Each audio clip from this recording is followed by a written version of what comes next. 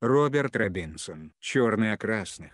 44 -го года в Советском Союзе. Автобиография черного американца. Пролог. 44 года. Большой отрезок жизни. 44 года я прожил в Советском Союзе. У меня никогда и в мыслях не было оставаться там надолго. Как я, черный американец из Детройта, мог жить в стране, враждебной почти всему, во что я верил и что почитал. Теперь, пробравшись из СССР, я часто спрашиваю себя, как мне удалось остаться в живых. Возможно, благодаря тем ценностям, которые я усвоил от матери, благодаря несокрушимой вере в Бога или, быть может, благодаря врожденному упрямству, но красным я не стал.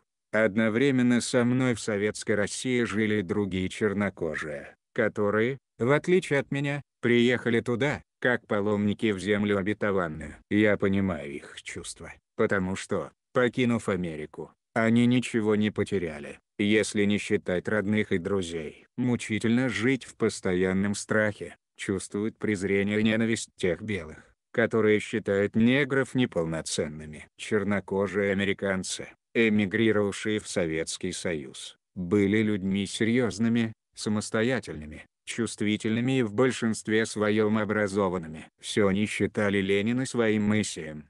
Вера их, или потребность в вере, была столь сильна, что они не желали замечать недостатки большевиков. Все принявшие советское гражданство черные, которых я знал в начале 1930-х годов, за семь лет исчезли из Москвы. Те, кому посчастливилось, попали в лагеря. Менее удачливых расстреляли. Странно, что только мне одному, никогда не принимавшему коммунизма, несмотря на мой советский паспорт, удалось уцелеть. Я не думал надолго задерживаться в Советском Союзе. Я хотел и надеялся вернуться домой и молился об этом. Временами казалось, что у меня нет никаких шансов. Можно было умереть от холода и голода или погибнуть от нацистской бомбы в военной Москве. Меня могли отправить в лагерь или в психиатрическую лечебницу. Или просто расстрелять. По ночам меня мучила тоска. В годы чисток я не раздевался до 4 утра ожидая услышать страшный стук в дверь. Каждую ночь я ждал,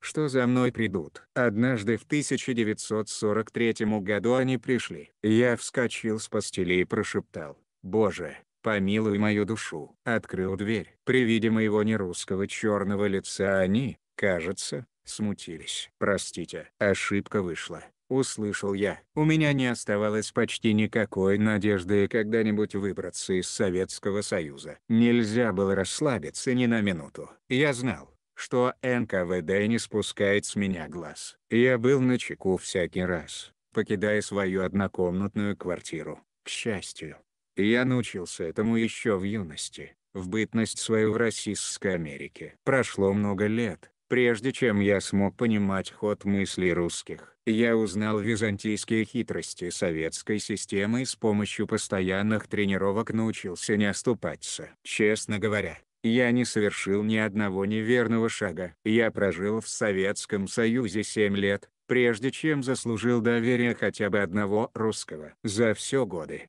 проведенные в Советском Союзе, сам я не доверился ни одному человеку, хотя у меня и было много друзей. В моем доме было 18 квартир, в каждой жили по две-три семьи. Среди жильцов были доносчики, шпионившие за Робертом Робинсоном. Они следили за каждым моим шагом, подслушивали каждое слово, а потом докладывали обо всем. И так изо дня в день на протяжении многих лет. Что бы ни говорили мне мои русские соседи, как бы ни превозносили коммунистические начальники страну, где якобы достигнуты социальная справедливость и равенство, меня никогда не принимали за равного. Да, меня оценили за профессиональные качества, однако я оставался диковинной и потенциальным героем советской пропаганды. Я как-то приспособился ко всему этому, смирился даже с одиночеством. Некому было согреть мою постель, некому обнять и назвать папой. Я научился переносить почти все. Кроме одного. Я так никогда и не примирился с расизмом в Советском Союзе. Расизм постоянно испытывал мое терпение и оскорблял человеческое достоинство. Поскольку русские кичатся тем,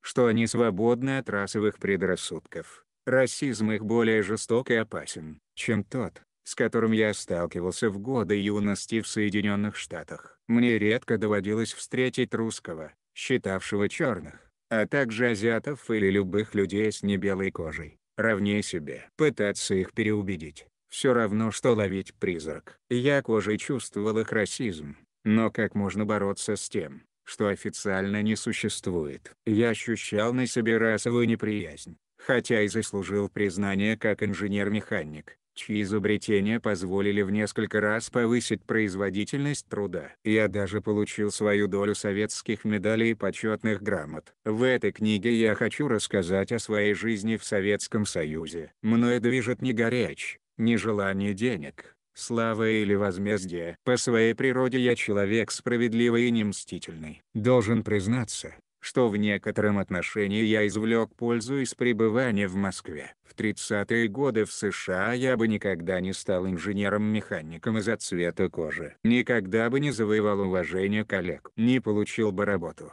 удовлетворяющую моим творческим потребностям. Никто не признал бы моих профессиональных достижений. В Москве я получил возможность всего этого добиться. Я написал эту книгу, ибо глубоко уверен, о том, как относятся к черным в обществе, декларирующим свободу от расовых предрассудков. Нельзя молчать. На протяжении 44 лет я наблюдал русских и их политический строй не как белый идеалист, но как чернокожий, которого американский расизм научил распознавать искренность человеческих слов и поступков. Я могу сказать со всей ответственностью, один из величайших мифов, когда-либо придуманных пропагандистским аппаратом Кремля, состоит в том, что в России нет расизма. Этот тезис был вбит в головы людей в России за ее пределами. На самом деле всех нерусских считают в этой стране неполноценными. В соответствии с негласной шкалой неполноценности, армяне,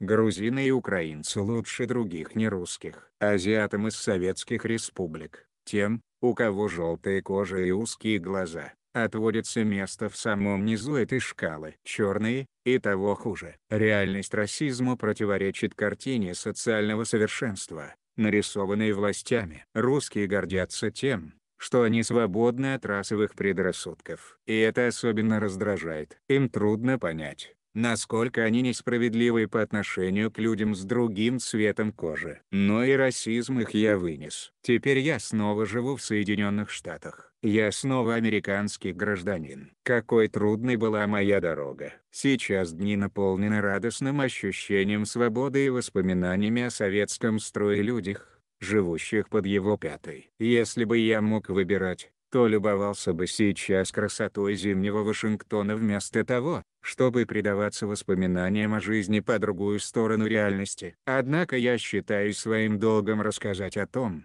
что многие представляют себе весьма смутно о чем, быть может, даже не хотят слышать. Части. Сталинские времена. Глава 1. Вновь американец. Сегодня 9 декабря 1986 года. Прошло 13 лет с тех пор, как мне удалось вырваться из СССР. Года два после отъезда мне приходилось щипать себя, чтобы убедиться, что я на свободе. Потребовался еще год, чтобы я наконец перестал в страхе подбегать к окну посреди ночи. Я боялся увидеть за окном зимнюю Москву, боялся узнать, что свобода мне приснилась. Как научила меня жизнь, нельзя предсказать, что случится завтра. За 80 лет я стал реалистом. Как же долго я был оторван физически и духовно от всего, что мне близко. И вот я больше не в Советском Союзе, за мной нет слежки, не в их власти лишить меня хлеба насущного или жизни. Однако с 1974 года,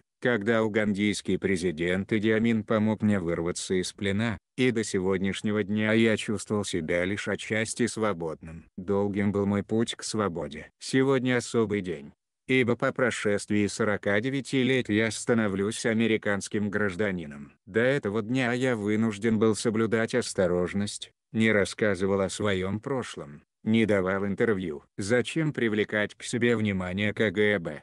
Думал я, хотя я был уже за пределами СССР, чувствовать себя в полной безопасности не мог. Если бы вам, как и мне, выпало стать свидетелем массовых чисток. Вы бы так же, как и я, считали возможность получить пулю в затылок вполне реальной. Хотя шесть лет назад я отказался от советского гражданства, в СССР меня по-прежнему могли считать советским гражданином, могли предъявить на меня права. Советские агенты могли похитить меня и переправить в СССР. Вряд ли бы это произошло со мной, но такие случаи бывали. В конце концов я маленький человек, без громкого имени, живу почти незаметно. Нет такого правительства, организации, этнического сообщества, которые пришли бы мне на помощь. Страх за собственную безопасность отчасти объяснял мое молчание. Но была еще одна, более важная, причина. Советам не понравится моя книга. Я пишу, как посторонний.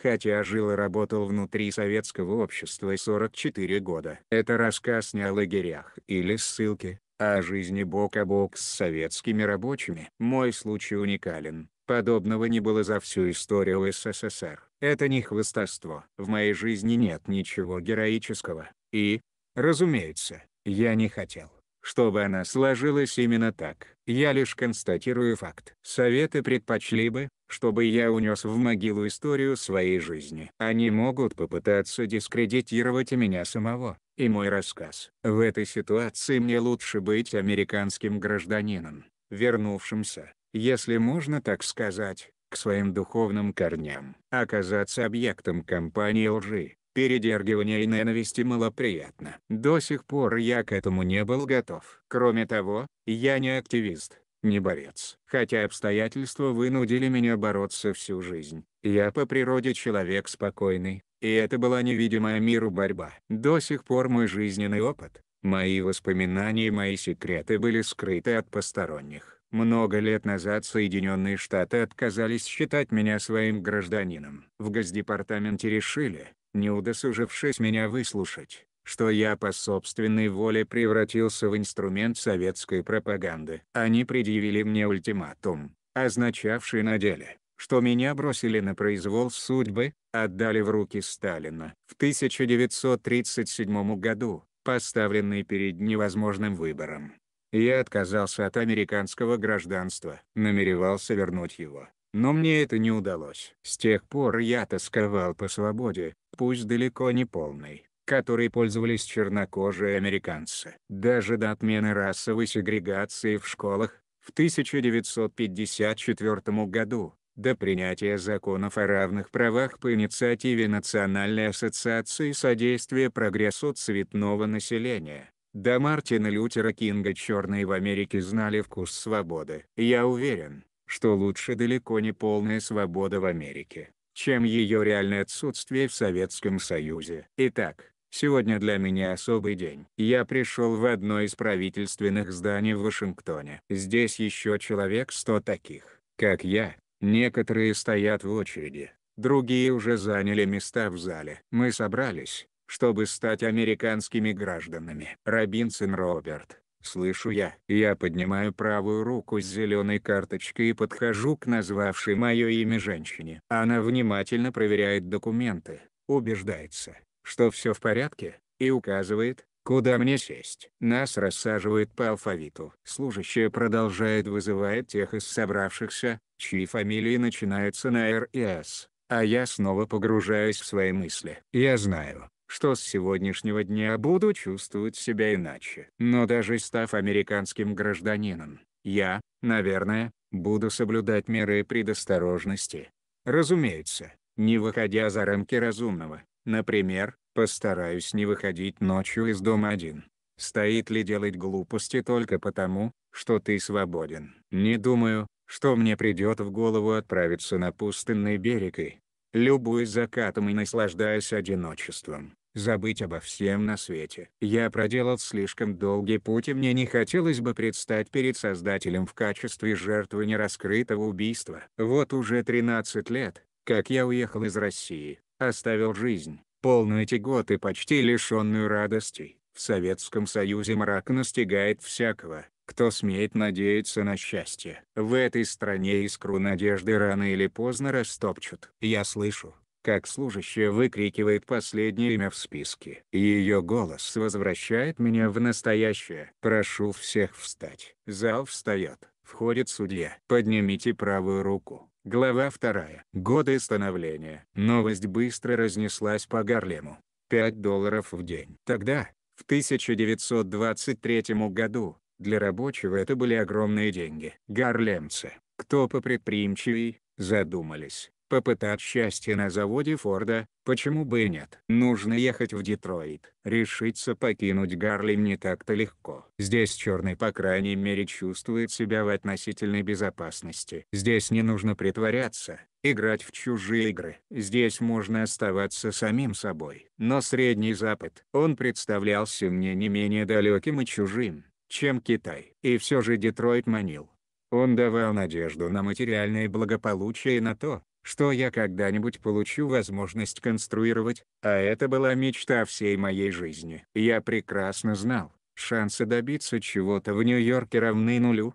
С раннего детства я любил мастерить. Я мог починить в доме любую поломку. Когда близкие, глядя на меня, думали, что я строю воздушные замки. Я мысленно строил новые машины. Математика, точные науки казались мне столь же увлекательными, сколь скучны были науки общественные и текущая политика. Реализовать пришедшую в голову идею, притворить ее в нечто осязаемое и полезное, ничего более захватывающего для меня не существовало. Я думал об отъезде в Детройт, взвешивал все за и против. Я был не настолько глуп, чтобы не понимать, Автомобильная компания Форда принадлежит миру белых. Чернокожему получить на ее заводе работу, требующую квалификации, практически невозможно. И мне ее тоже не видать, если я не докажу, что опыта и умений у меня больше, чем у любого белого. Конечно, жизненный опыт подсказывал. Никакой гарантии, что мне представится шанс проявить себя. Нет, мои детство и юность прошли на Кубе. Там за 4 года я выучился на станочника универсала. Получил диплом. В то время Куба была на две трети черной. Расизма я на себе не ощущал и не знал, что это такое, пока не переехал в США. В Нью-Йорке я, не теряя времени, Разослал дюжину резюме по разным компаниям. Ответили все. Всюду предлагали работу. Я был полон надежд. Но к станку меня нигде не подпустили. В каждой конторе повторялась одна и та же сцена. Управляющий по кадрам, который еще недавно готов был меня нанять, увидев чернокожего, начинал мямлить, что место уже занято. Отправляясь в Детройт, я отдавал себе отчет в том, что получить работу по специальности будет непросто. И все же я твердо решил добиться своего. В Детройте я стал регулярно ходить в бюро по найму при заводе Форда. Обычно являлся туда за полтора часа до открытия, к половине седьмого, чтобы оказаться в голове очереди. Когда в свой первый приход я объявил, что по специальности станочник, клерк чуть не поперхнулся. «Что, ты, станочник, убирайся-ка, парень». Отсюда по добру по здорову. Упрямство у меня в крови. И я продолжал ходить в бюро дважды в неделю. Скоро двое клерков уже знали меня в лицо. При моем появлении они, не тратя лишних слов, взмахом руки, давали понять, что мне тут делать нечего. Как-то раз один из них сказал, «По тебе, паренек, школа скучает». Я упорствовал хотя моя настойчивость уже граничила с глупостью. Однажды в воскресенье ко мне подошел какой-то пожилой мужчина, которого я раньше встречал в нашей церкви. Он отвел меня в сторону и сказал, «Сынок, насколько я знаю, станочник, работа для белых, так просто тебе ее не получить. Этот человек больше десяти лет проработал у Форда и хорошо знал тамошние порядки. Сначала тебе нужно помахать метлой», — сказал он. Главное – попасть на завод. А там постарайся показать себя с лучшей стороны и поступить в заводское техническое училище. Сдашь экзамены. Тогда, если повезет, они допустят тебя к станку. На следующий день, преисполненный надежд, я снова стоял в очереди в бюро. К счастью, я попал к незнакомому клерку. На вопрос, кем бы я хотел работать, ответил, уборщиком. Так, После семи недель мытарств, с тринадцатой попытки меня наконец взяли на завод. 8 часов в день я подметал гигантский цех, прерывался только для того, чтобы посетить уборную. Через 4 месяца мне удалось поступить в техническое училище при заводе. Еще через 14 месяцев мне присвоили квалификацию станочника. Я был единственным черным станочником во всей компании. Закончившего теоретический курс молодого станочника обычно прикрепляют к инструктору который четыре недели учит новичка работать на станке. В моем случае этот этап подготовки опустили и направили меня сразу к мастеру того самого цеха, где я еще недавно мел полы. Мастер подвел меня к фрезерному станку, сказал, где получают фрезы, дал чертеж, задание и ушел. Не объяснил даже, как станок включать и выключать, для чего нужны различные рычаги и ручки, как закрепить деталь. Когда он ушел, я оглянулся по сторонам и увидел, что все рабочие участка, больше 20 человек, остановили станки и с любопытством наблюдали за мной. Ждали, что будет делать негр-подметальщик. Попытается включить станок и сломает его или придет в отчаяние и решит бросить эту затею. А может, закатит истерику. Я понимал, нельзя показывать, что я опытный фрезеровщик и принялся нарочито внимательно, со всех сторон,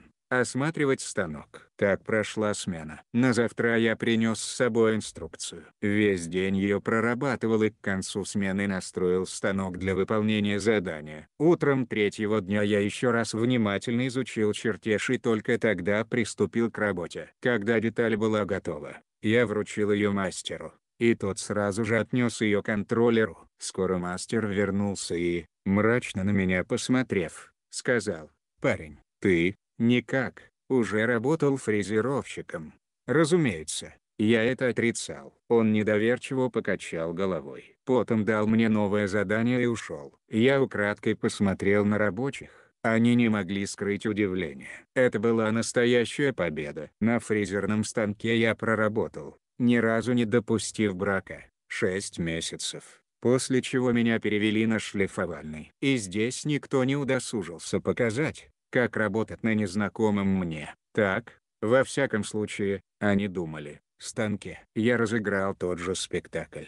И снова мастер выразил сомнение, что я впервые встал за шлифовальный станок. В то время на заводе Форда работали 270 тысяч человек, круглые сутки в три смены по 90 тысяч в каждой. В моем цеху было 700 станочников, 699 белых один черный. Я добился определенного признания, хотя большим достижением это не считал. Станок был для меня промежуточным этапом. Я знал, что у меня есть способности, и чувствовал сильную внутреннюю потребность добиться чего-то большего даже выдающегося. В 1930-м мне было 23. Уже три года я работал у Форда. Будущее представлялось мне безоблачным, хотя крах на бирже уже случился. Началась депрессия. Я хорошо зарабатывал, любил свое дело и мог откладывать деньги, чтобы перевести мать с Кубы.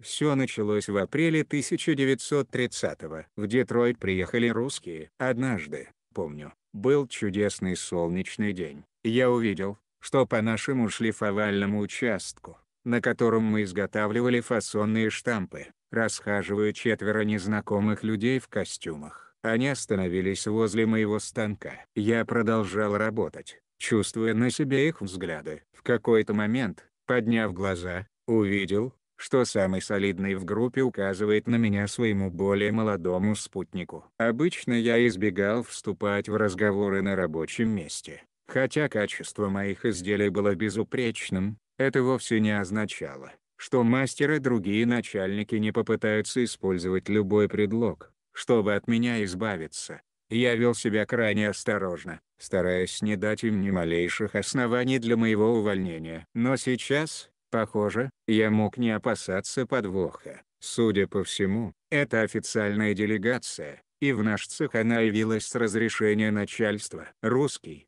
что помоложе, обратился ко мне на ломаном английском. Он так коверкал слова, что я не сразу понял, что ему от меня надо. Наконец, сообразил, что его интересует. Как давно я работаю станочником, где я учился и сколько мне лет. Ответ он перевел своему боссу. Непонятно было, почему русские заговорили именно со мной.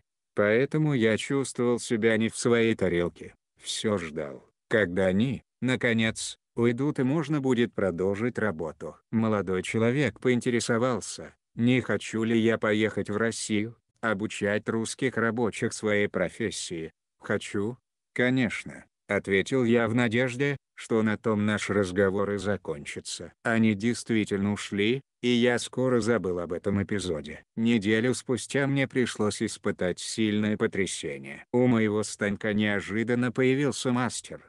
Он никогда раньше сам ко мне не подходил. И я заподозрил недоброе. «Тебя хочет видеть шеф по кадрам», — сказал он.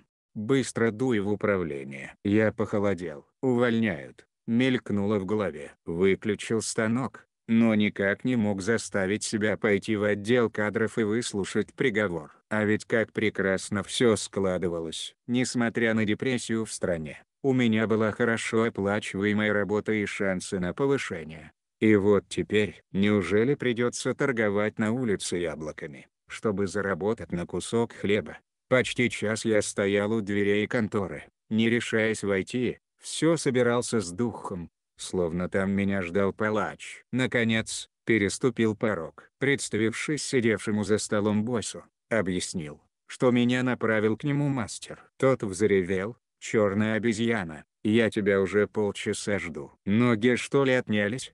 Он извергал и извергал на меня потоки брани, так что в какой-то момент я почувствовал, что больше не в силах терпеть такого унижения. Даже страх потерять работу, от которого я целый час трясся перед дверьми этого кабинета, исчез. Главное было не выйти из себя. Я знал, что, если не сдержусь, попаду за решетку. Остаться без работы все же лучше, чем сесть в тюрьму. Из чувства самосохранения я довел себя до полубессознательного состояния, почти до транса, чтобы не слышать ядовитых слов, которыми он так и брызгал. Наконец, он немного успокоился, откинулся на стуле и, вперев в меня злобный взгляд, презрительно бросил. «Тебя хотят видеть твои дружки. Здесь имя и адрес человека, которому тебе нужно явиться». Он протянул мне бумажку, даже номер трамвая назвал, каким добираться. Оба мы понимали, если я не явлюсь по указанному адресу, ему придется отвечать. И он это знал. Я поблагодарил и вышел из кабинета. Найти указанный в записке дом труда не составило. В комнате, куда меня направили,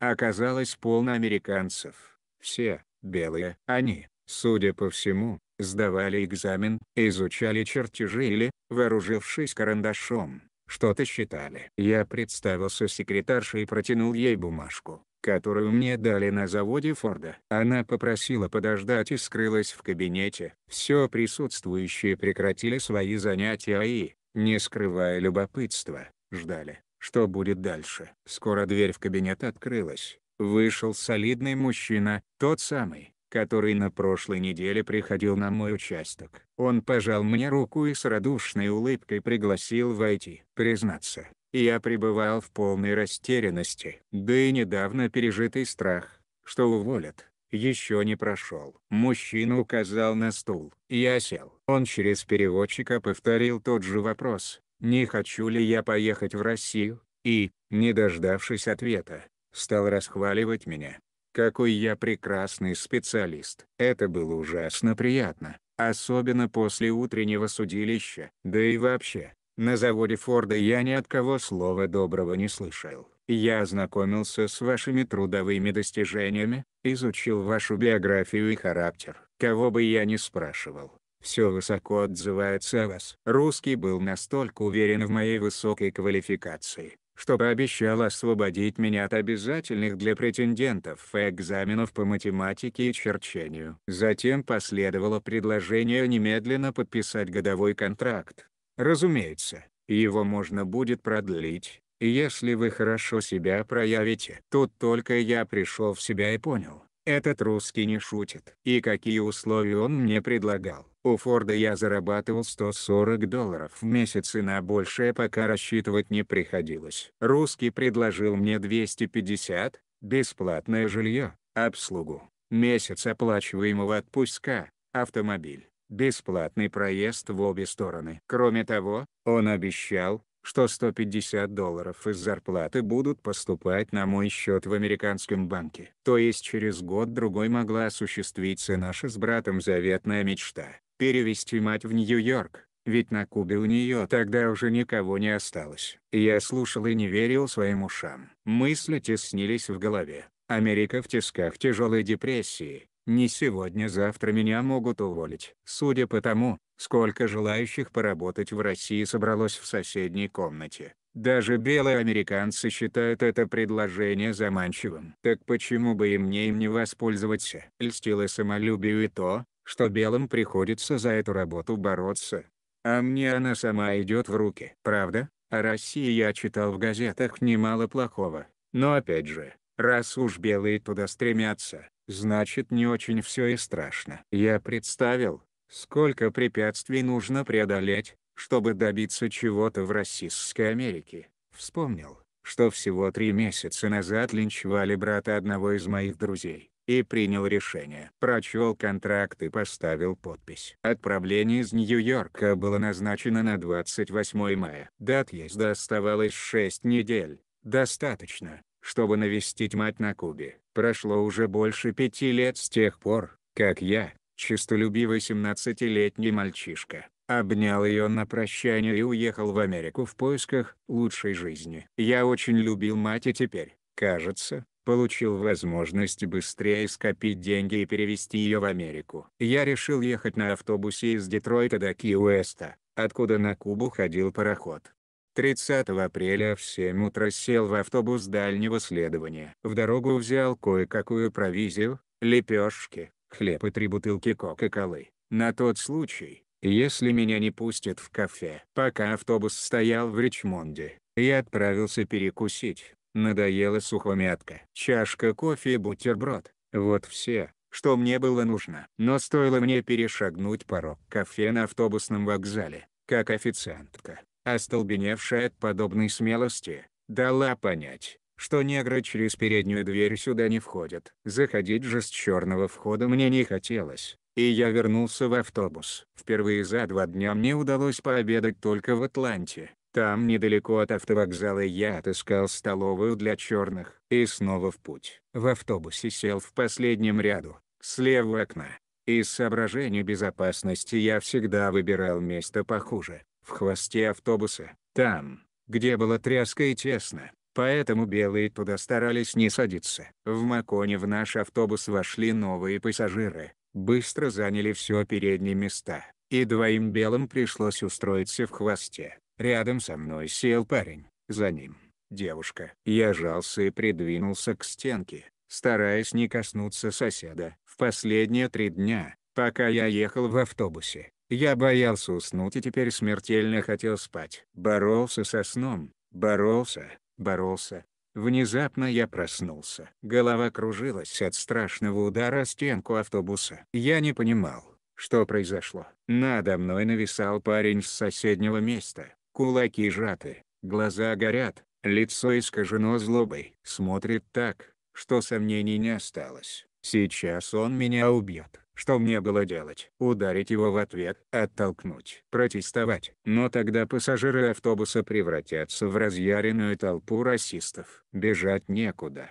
Я загнан в угол. Казалось, мне пришел конец. Я понимал всю безнадежность своего положения и чуть было не поддался панике. Но вдруг совершенно неожиданно для себя вспомнил стихотворение Клода Макея «Если нам суждено умереть». Не знаю, оно ли меня вдохновило, но я сделал нечто, до чего никогда бы не додумался раньше. Я вскочил с места, принялся бить себя в грудь и кричать по-испански. Я на десерте линчеда, порк уэй сой чубана, я сой чубана, я сой чубана. Словно в истерике, я выкрикивал снова и снова, вы не можете меня линчевать. Я кубинец. Я кубинец. Милостью Божьей я затронул человеческую струну в сердце жены. А может, подруги, моего мучителя. «Оставь его в покое!» — закричала она.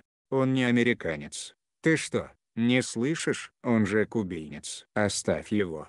С передних мест раздался крик. Да выкиньте его из автобуса. Вышвырните нигера. Победу в тот день одержала девушка. Мой сосед угомонился и сел. Между тем водитель остановил автобус на обочине и подошел к нам посмотреть, в чем дело. Я плакал. И тут девушка снова пришла мне на помощь. «Все в порядке», — успокоила она водителя. Он сел за руль. И мы поехали дальше. Смертельно усталый и голодный, я добрался до Ки-Уэста. Хорошо еще, что остался в живых. Я сел на пароход до Гаваны, оттуда 14 часов ехал на поезде до Сан-Хермана, небольшого поселка, где неподалеку от гигантского сахарного завода жила моя мать. Я не предупредил ее о приезде, и, увидев меня, она не поверила своим глазам. Оба мы были взволнованы. Мать плакала от счастья. Мы не виделись почти семь лет. Мама приготовила великолепный ужин. Мы поели, а потом до глубокой ночи разговаривали. Когда я наконец лег спать, то долго не мог уснуть. Все думала о матери, о том, какую она прожила тяжелую и полную лишений жизнь. Она была родом из Вест-Индии, с острова Доминика, который сначала принадлежал Франции, а потом Англии. Молоденькой девушкой работала у врача-англичанина. Когда англичанин переехал на Ямайку, он взял ее с собой. На Ямайке она познакомилась с моим отцом. Там я и родился. Потом мы переехали на Кубу. Когда мне было шесть с половиной лет, отец нас бросил. Он оставил мать без средств к существованию в стране, язык и культура которой были для нее чужими. Мы чудом выкарабкались, но до сих пор я даже не догадывался, как тяжело ей это далось. Той ночью она рассказала мне нечто, о чем я раньше не знал и теперь не забуду до конца жизни. Через месяц после того, как отец нас оставил, у нее кончились деньги. Сама она не ела уже два дня, еды едва хватало, чтобы накормить меня. Заплатить за квартиру было нечем. Вдобавок ко всему я изводил ее расспросами об отце. Почему у всех детей в округе есть отцы, а у меня нет, мои расспросы ранили ее в самое сердце. Ночью она дала мне последний сухарь. Она не могла больше слышать плач голодного сына, не могла выносить одиночество и безнадежность своего положения. Настал момент, когда мать решила, что лучше всего покончить со всеми мучениями разом. Было 11 часов ночи. Мать прикрыла мне рот платком, прижала к себе и направилась к морю всего в пяти кварталах от нашего дома. Дойдя до берега, она вошла в воду. Слезы текли по ее щекам, я плакал от голода. Вокруг плескались волны, а она все шла, моля Бога простить ее, пожалеть ее душу. Неожиданно она остановилась. В темноте в нескольких футах от нас вырос мужской силуэт. Мужчина крикнул «Куда ты?» Мать повернула назад и вышла на берег. Незнакомец строго посмотрел на нее и сказал, Никогда больше этого не делай. В ту ночь мама впервые в жизни увидела во сне свою бабушку. Бабушка казалась очень грустной. Она спросила мать, «Почему ты не уезжаешь из этого дома? Немедленно смени квартиру. Что я могу сделать, если у меня совсем нет денег?» Тогда бабушка посоветовала ей попросить приют у Альфрениссы, прихожанки нашей церкви. На следующее утро мама отправилась к Альфренисе. И та приютила нас и помогла найти работу. Мать стала зарабатывать тем, что гладила хлопчатобумажные брюки. Со временем ей удалось подняться на ноги. Мама была предана мне всей душой. Она ни разу не крикнула на меня. И, как ни странно, я каждую минуту чувствовал ее тепло и заботу, хотя не помню, чтобы даже в детстве она меня когда-нибудь обнимала или целовала. Она была очень строгой и упорно воспитывала во мне самодисциплину и уверенность в себе. Этому, так же как умению обходиться без посторонней помощи, я обязан маме. Я мыл посуду и пол. Я стирал, гладил и чинил не только свою, но и мамину одежду. Мама была моей первой учительницей. К шести годам я умел писать и читал Библию. Она научила меня уважать людей независимо от их расы, положения или религиозных взглядов и внушила мне, что самое дорогое, что у меня есть, это слово. Так получилось, что я вырос трехязычным. Я выучил английский дома, а испанский и французский – в школе. В те времена на Кубе жило много гаитянцев и в школах поощрялось изучение французского как второго языка. Известие о моем отъезде в Россию омрачило для мамы радость встречи. Интуиция подсказывала, что я совершаю ошибку. Я обещал вернуться через год и в конце концов получил ее благословение. Глава 3. Я отправляюсь в путь. У матери я погостил недолго и уже через шесть дней был в Гаване, где сел на первый же пароход, уходивший во Флориду. 90 миль. Расстояние небольшое, и плавание было недолгим. 1800 миль на автобусе на этот раз я проехал без происшествий за два дня до отъезда в Россию явился в Анторг, советское агентство, которое занималось нашим отъездом. Мне выдали 100 долларов на расходы и билет в каюту второго класса трансатлантического лайнера Majestic. Несколько дней спустя Majestic бросил якорь в Судгемптоне. Оттуда наша группа из 45 человек на поезде приехала в Лондон где нам предстояло провести четыре с половиной дня. В забронированную для нас лондонскую гостиницу черных не пускали, и меня поселили отдельно, в 20 минутах ходьбы от нее. Позже я узнал, что нашу группу четыре дня водили по экскурсиям, но мне об этом никто не сказал. Я слонялся по Лондону один. Они разъезжали на автобусе с гидом. И вот мы на борту советского теплохода «Рыков», который должен доставить нас в Ленинград. На Ракове я получил первые, поразившие меня, сведения о том, как работает советская система. На второй день нашего плавания капитан провел пассажиров по теплоходу. Все здесь блестело чистотой, даже машинное отделение, обычно самое грязное место на судне. Безупречный порядок царил и в каютах экипажа. Наблюдая за работой моряков, я отметил их высокий моральный дух. Они относились к своему делу с энтузиазмом новообращенных. Большинство из них были молоды, от 20 до 40 лет. Мне хотелось понять, в чем кроется источник их энтузиазма, особенность ли это национального характера или нечто другое. В поисках ответа я слонялся по теплоходу. Вскоре мне повезло. Я познакомился с молодым русским моряком, который говорил по-английски и смог дать ответ на мучивший меня вопрос. Моряк знал о дискриминации черных в Америке и уверял, что в Советском Союзе все люди равны, независимо от цвета кожи. И я смогу убедиться в этом сам. За день до нашего с ним разговора произошел неприятный случай. Двое белых американцев демонстративно покинули столовую. Стоило мне сесть за их стол. На следующий день за завтраком капитан встал и громко объявил, обращаясь к нашей группе. Товарищи специалисты, всех вас пригласили на работу в Советский Союз. При советском строе не существует дискриминации по национальному признаку или по цвету кожи. Все в Советском Союзе равны. Я не уполномочен осуществлять здесь сегрегацию. Прошу всех пассажиров, всех без исключения, уважать советский закон. На молодого моряка этот инцидент произвел сильное впечатление. Итак, он готов был ответить на мой вопрос. Как он мне рассказал, каждое утро в половине шестого капитан собирает в столовую всю команду, кроме вахтенных. Явка строго обязательна. Фамилии присутствующих вносят специальный список. Моряк привел меня на одно из этих собраний и разъяснял, что именно там происходит. Вначале команда выслушала сообщения об успехах Советского Союза в общественном и экономическом развитии. Вся информация была,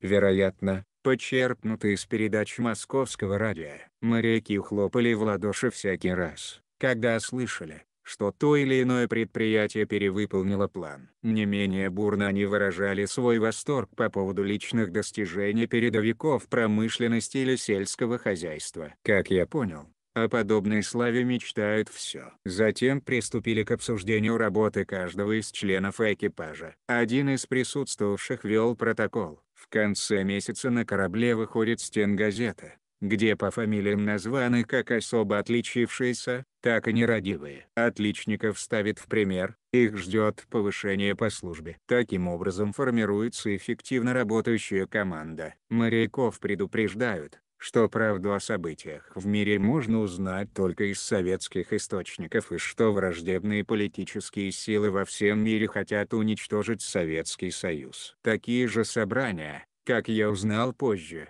регулярно проходит на всех заводах и фабриках и во всех учебных заведениях страны. Артисты, танцоры, писатели, заводские рабочие, ни для кого не делается исключение. Я убежден, что эти способы индоктринации стали тем рычагом, с помощью которого Советский Союз смог превратиться в сверхдержаву за столь короткое время. Солнечным весенним днем 1930 года Рыков пристал к причалу Ленинградского порта. Чувствовал я себя прекрасно, и даже погода, казалось, давала понять, что я не ошибся приняв столь поспешное решение. Мне было 23 года. Я наблюдал с палубы за швартовкой нашего теплохода, а потом вместе с остальными американцами спустился на берег. Может быть, этот год принесет мне удачу, подумал я. Нас привезли в роскошную гостиницу «Европейская», где мы должны были провести следующие четыре дня. В холле всех распределили по номерам. Когда мы вошли в просторный четырехместный номер,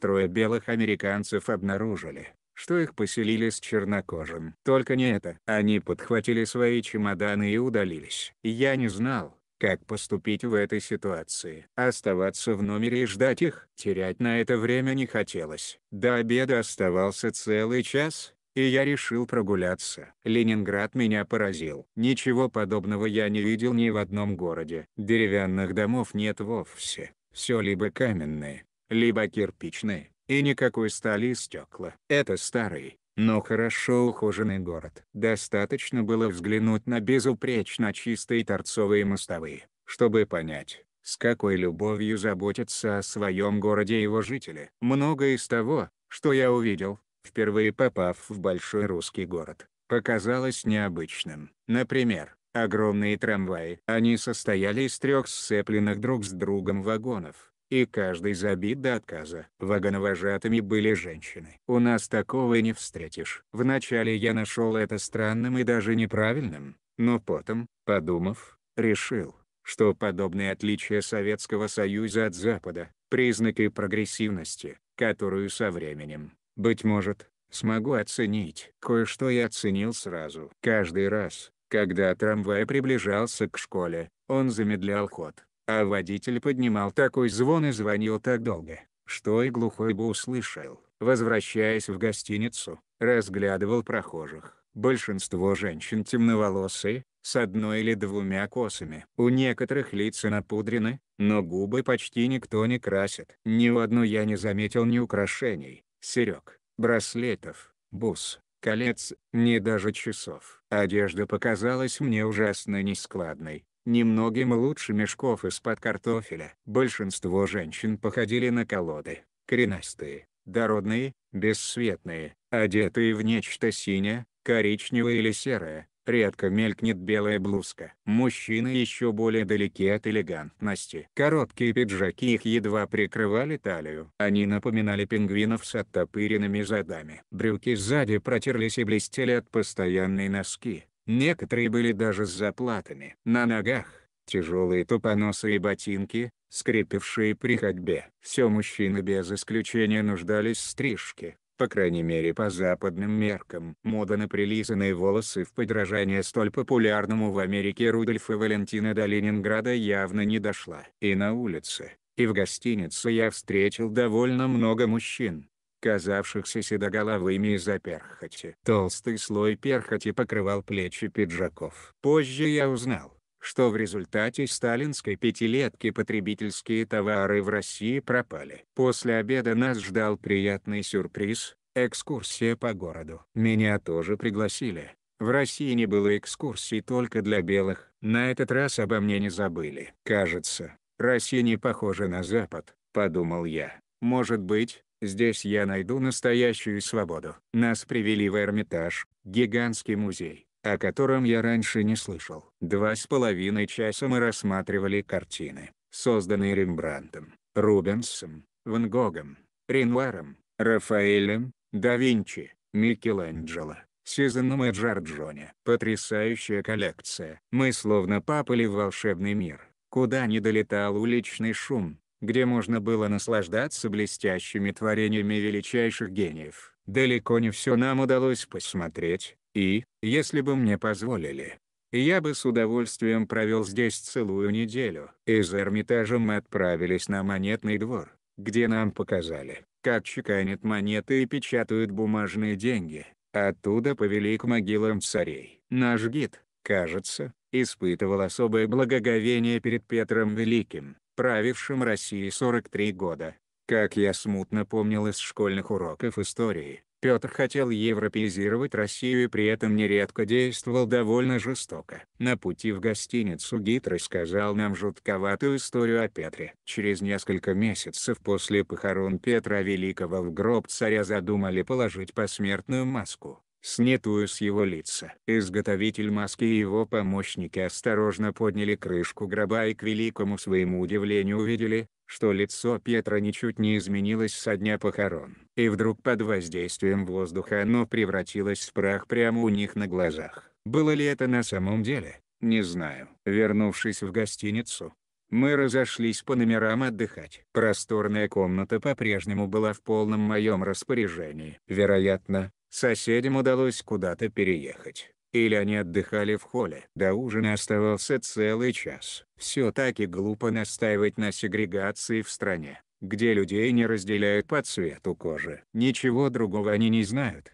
решил я. Они сами жертвы американского расизма. В ресторане я сел за тот же стол, за которым сидел во время обеда. И опять ел в одиночестве. Ни один человек не подсел ко мне. Если бы я обедал в столовой для русских, подумал я, то уж наверняка не сидел бы в одиночестве. В честь американских гостей оркестр попытался сыграть джаз. Музыканты играли плохо, однако все с удовольствием слушали знакомые мелодии, и никто не уходил. Меня музыка не тронула. Вместо того чтобы вспоминать недавнее прошлое, я предпочитал погрузиться в будущее.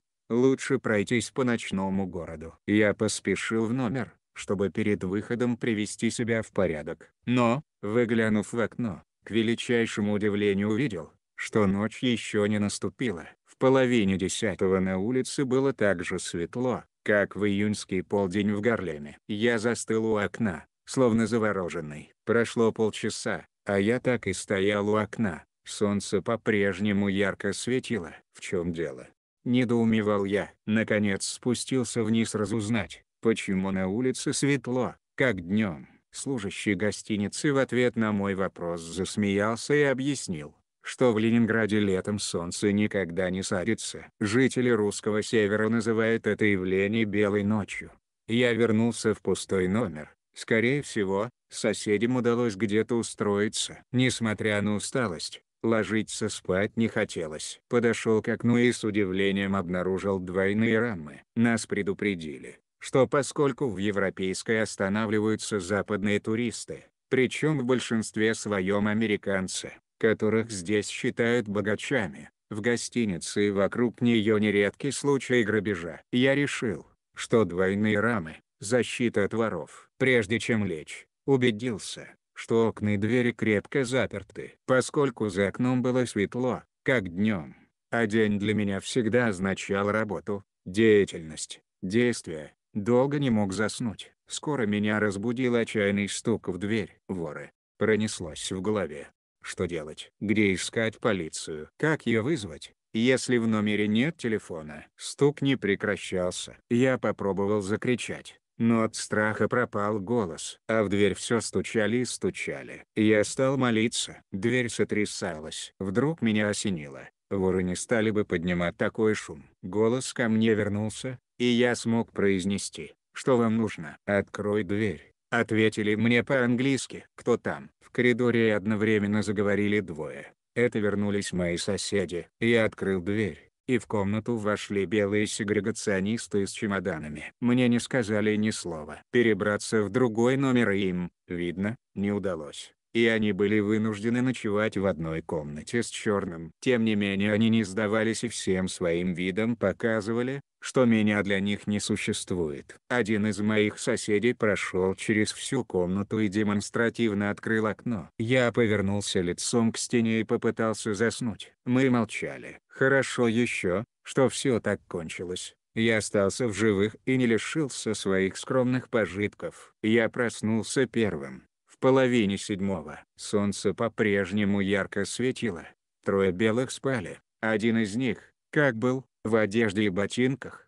Не знаю, почему он решил не раздеваться. Может, боялся, что среди ночи ему придется убегать от меня, ужасного чудовища. Я быстро оделся и выскользнул из комнаты. Внизу Порти рассказал, как мои соседи целый день пытались найти другой номер дошли до самого директора гостиницы. Однако в тот день в Европейской свободных номеров не оказалось. Мы прожили в одной комнате четыре дня, и они так и не сказали мне ни единого слова. Выйдя из гостиницы, я сразу же пришел в себя. У меня было чувство, что в Советском Союзе меня ждет много интересного. Здесь, в чужой стране, я спокойно шел по улице. Не было ощущения неловкости, страха, бесприютности. Так я шел, размышляя о том, как мне здесь хорошо, пока не оказался перед железнодорожным вокзалом. Там передо мной открылась невероятная картина. Вокзал был забит до отказа. Сотни, а может, и тысячи человек сидели прямо на мраморном полу. Мужчины, женщины, дети. Тут же матери кормили грудью младенцев. Судя по всему, эти люди провели здесь не один день в ожидании поезда. Всего минуту назад я радовался ощущению тепла и открывающимся передо мной возможностям. Но здесь царили мрак и отчаяние. Кругом беспомощные, покорившиеся судьбе люди. Мне хотелось как-то помочь им или хотя бы подбодрить, но как это сделать? Зрелище произвело на меня тяжелое впечатление. Я не понимал, в чем дело и что все это значит? В гостинице я застал всех в ресторане. Было время завтрака. На столах были расставлены тарелки с говядиной, ветчиной, помидорами, вареными яйцами, сыром, желтоватого цвета хлебом, маслом. Ничего горячего, кроме кофе. Я привык к горячей еде, особенно на завтрак, и представить не мог, что ем холодные яйца. Пришлось ограничиться бутербродами с сыром и кофе. Некоторые американцы просили подогреть яйца, другие требовали поджарить яичницу, которую в конце концов им принесли. Наблюдая эту сцену, я вспомнил несчастных на вокзале. Не сомневаюсь, что, Окажись эти продукты перед ними, они съели бы их с благодарностью и не поднимали шума по пустякам. После завтрака мы снова отправились на экскурсию. Нам показали Александровскую колонну, Исаакиевский собор, Юсуповский дворец, великолепные архитектурные памятники царской России. Вместе с гидом мы даже спустились в подвал, где был убит мистик Распутин. В здании Думы, тогда революцией называли парламент, нам рассказали, как с июля по ноябрь 1917 года правительство Александра Керенского и большевистские вожди боролись между собой за власть. В Смольном, бывшем институте благородных девиц, показали комнату,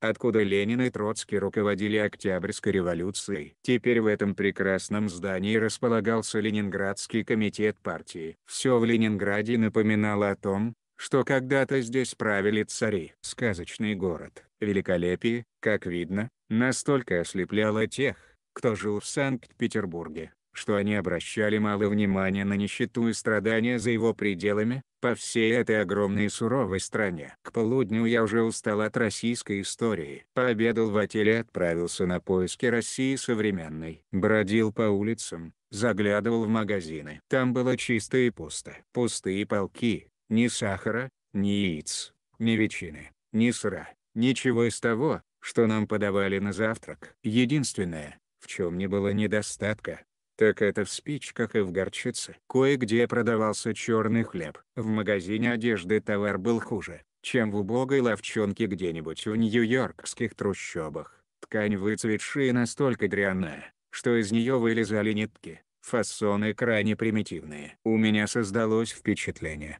что Россия – бедная, терпящая трудности страна. Хорошо еще, что прохожие на улицах на вид были вполне сытыми и никто не просил милостыню. Утром нас повезли на экскурсию к памятнику Петру Великому. По дороге я кое-что узнал о стране, которой предстояло стать моим вторым домом. На остановке в наш трамвай вошла дама лет 65 с большим узлом в руках. Все места в вагоне были заняты и она прислонилась к спинке сиденья, стараясь не упасть. Когда трамвай заносило то в одну, то в другую сторону, меня поразило, что молодой человек, возле которого она стояла, не предложил ей сесть. Я спросил нашего гида, почему молодой человек или кто-нибудь другой из пассажиров не уступит место пожилой женщине. Гид самоуверенно улыбнулся.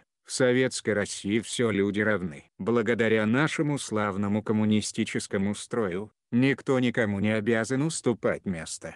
Но ведь у молодого человека наверняка есть мать и, окажись она на месте этой женщины, он бы встал. «Это, друг мой», — сказал гид, Буржуазное мышление. Такому мышлению нет места в Советском Союзе. Ну что же, у меня-то есть мать, подумал я.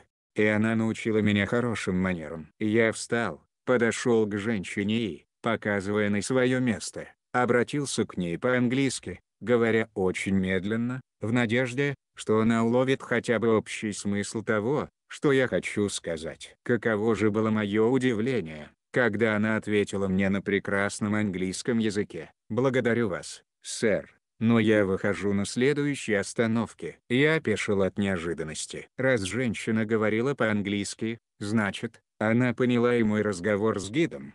Не знаю, нужно ли ей было выходить на самом деле, или она вышла, чтобы избежать неприятностей. А может, она всей душой разделяла идею равенства, и ее оскорбило мое джентльменство. Что мне было делать? Что подумали другие пассажиры о моем так называемом буржуазном поведении? Обычно, где бы я ни оказался, я быстро и с легкостью перенимал поведение местных жителей. Но случалось, как на этот раз, что мои ценности вступали в противоречие с ценностями той культуры, с которой я сталкивался и которую пытался понять. Два дня спустя, 19 июня, мы сели в скорый поезд Ленинград, Москва. Около половины десятого утра поезд замедлил ход и остановился посреди бескрайнего поля. Я выглянул в окно и увидел, что машинист и кочегар стоят у паровоза, показывают на колеса и что-то обсуждают. Через несколько минут вокруг них уже собралась небольшая толпа пассажиров. Я присоединился к любопытствующим. Проследив взглядом за жестом взволнованного машиниста,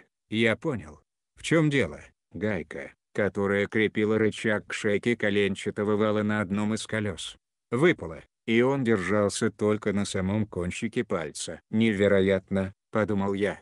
Если бы машинист зазевался и не прислушался к стуку колес, произошла бы катастрофа, могли бы погибнуть десятки пассажиров, и моим похождениям в России пришел бы конец, даже если бы мне повезло, и я остался в живых. Итак, нам нужно было во что бы то ни стало найти гайку. Без нее поезд не мог двигаться дальше. Машинист с кочегаром пошли назад по шпалам, высматривая ее в зале вдоль рельс. Какое везение! Не прошло и часа, как они отыскали злополучную гайку и крепко ее закрутили. Поезд тронулся. В Москву поезд опоздал всего на полтора часа. Предполагалось, что нашу группу встретят и отвезут в гостиницу. Однако на вокзал за нами никто не пришел. К счастью, сопровождавший нас переводчик, русский американец по фамилии Новиков, раньше жил в Москве хорошо знал город. Он привез нас в метрополь, внушительных размеров гостиницу в центре города,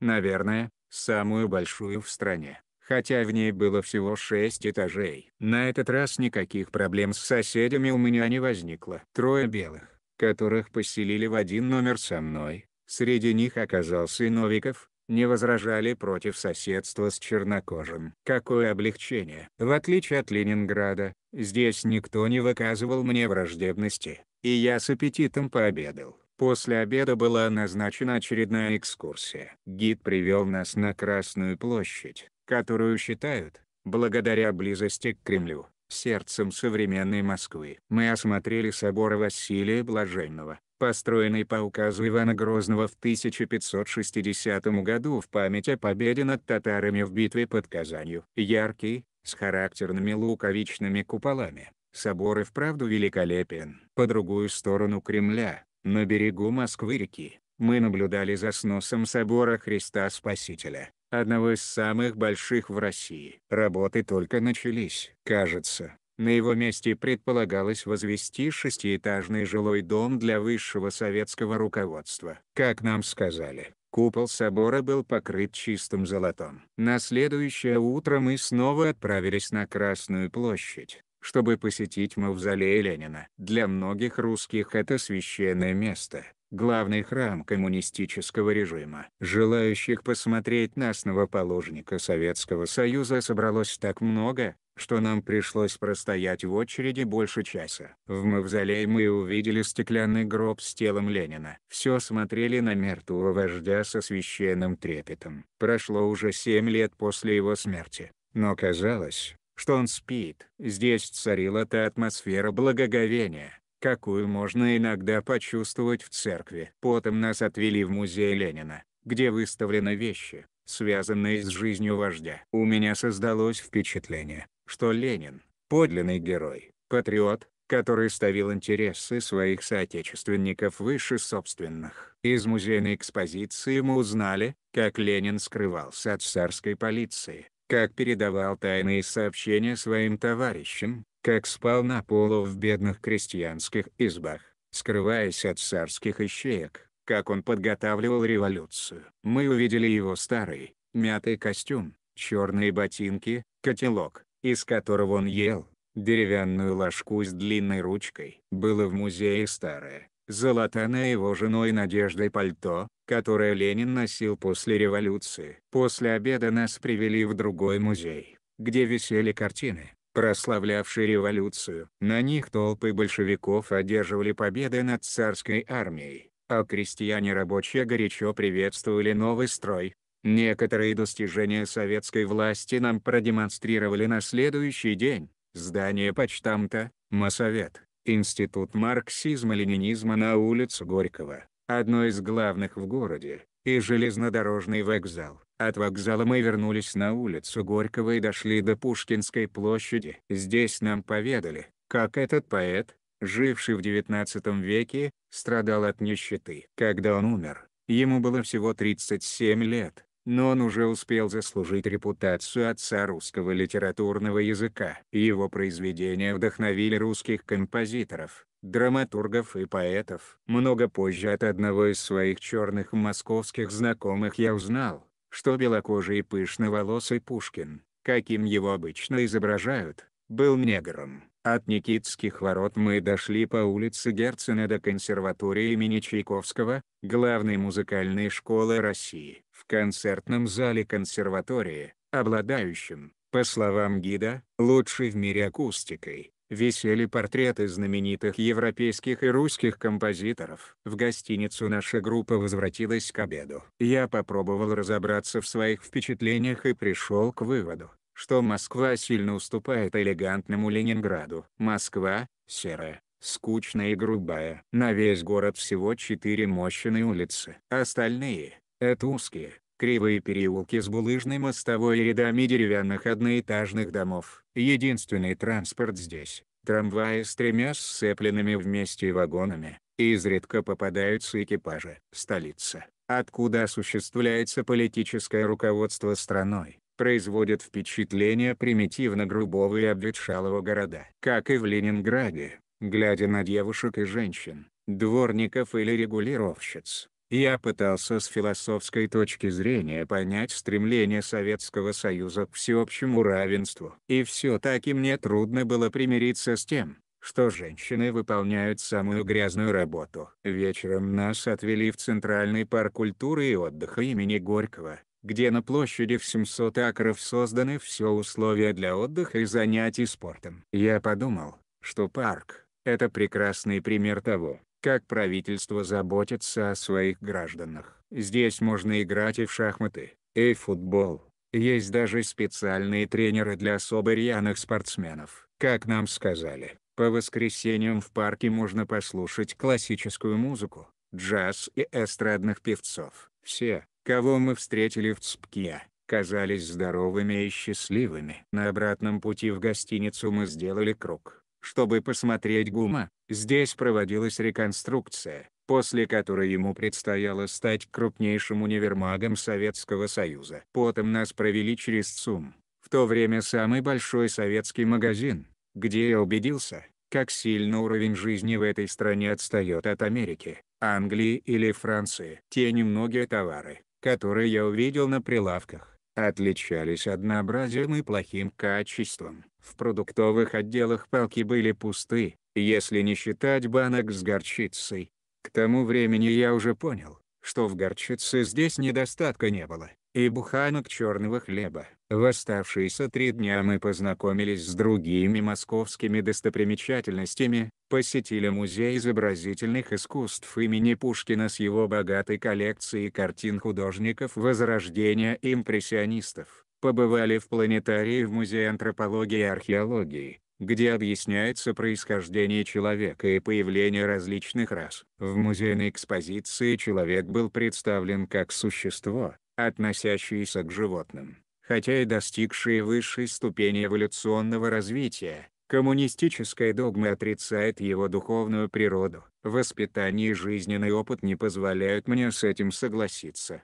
Я верю, что человек отличается от животных тем, что он наделен духом, врожденной потребностью обращаться к кому-то или чему-то выше него самого. В оружейной палате нам показали ослепительные драгоценности, принадлежавшие некогда российской короне. Потом мы совершили экскурсию на часовой завод. Все оборудование привезла и установила на нем американская фирма. Американские специалисты трудятся на заводе и обучают русских работать на станках. Около трети русских рабочих – женщины. Интересно, Испытывают ли американцы такой же культурный шок, какой испытал я, при виде женщин-уборщиц и женщин-вагоновожатых, на автомобильном заводе имени Сталина, который мы тоже посетили. Женщины в комбинезонах, работающие бок о бок с мужчинами на сборочной линии, поднимали тяжелые детали. Единственное, что отличало их от мужчин, это платки на голове. Я все больше и больше убеждался,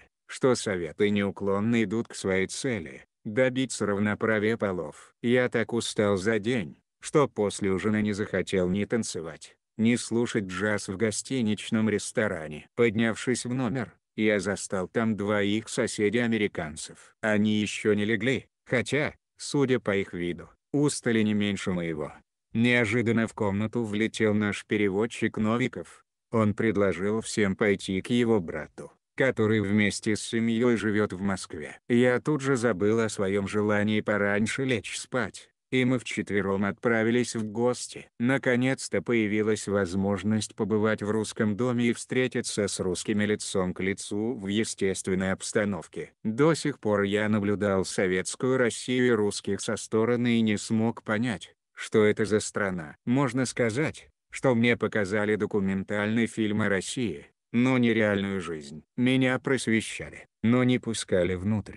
И теперь мне не терпелось пробиться через невидимый барьер, отделяющий меня от русских. Брат Новикова жил в одноэтажном деревянном доме, ничем не отличавшемся от других домов в округе. Дверь открыла его жена, явно довольная приходом гостей. Это была круглолицая женщина с большими карими глазами и темными волосами в которых уже проглядывалась седина. На вид ей можно было дать лет 45, но она выгодно отличалась от тех плотных, коренастых женщин ее возраста, которых я видел на московских улицах. Потом к нам вышла 20-летняя дочь Новиковых, стройная застенчивая девушка с грустными, как мне показалось, глазами, в таком же цветастом, как у матери, платье. Мать и дочь приветствовали нас по-русски. «Добро пожаловать», — сказали они, и я сразу почувствовал, что мне здесь рады. В доме две или три комнаты, везде порядок, все на своих местах. В гостиной на окне, безупречно белые кружевные занавески. Посреди комнаты, обеденный стол,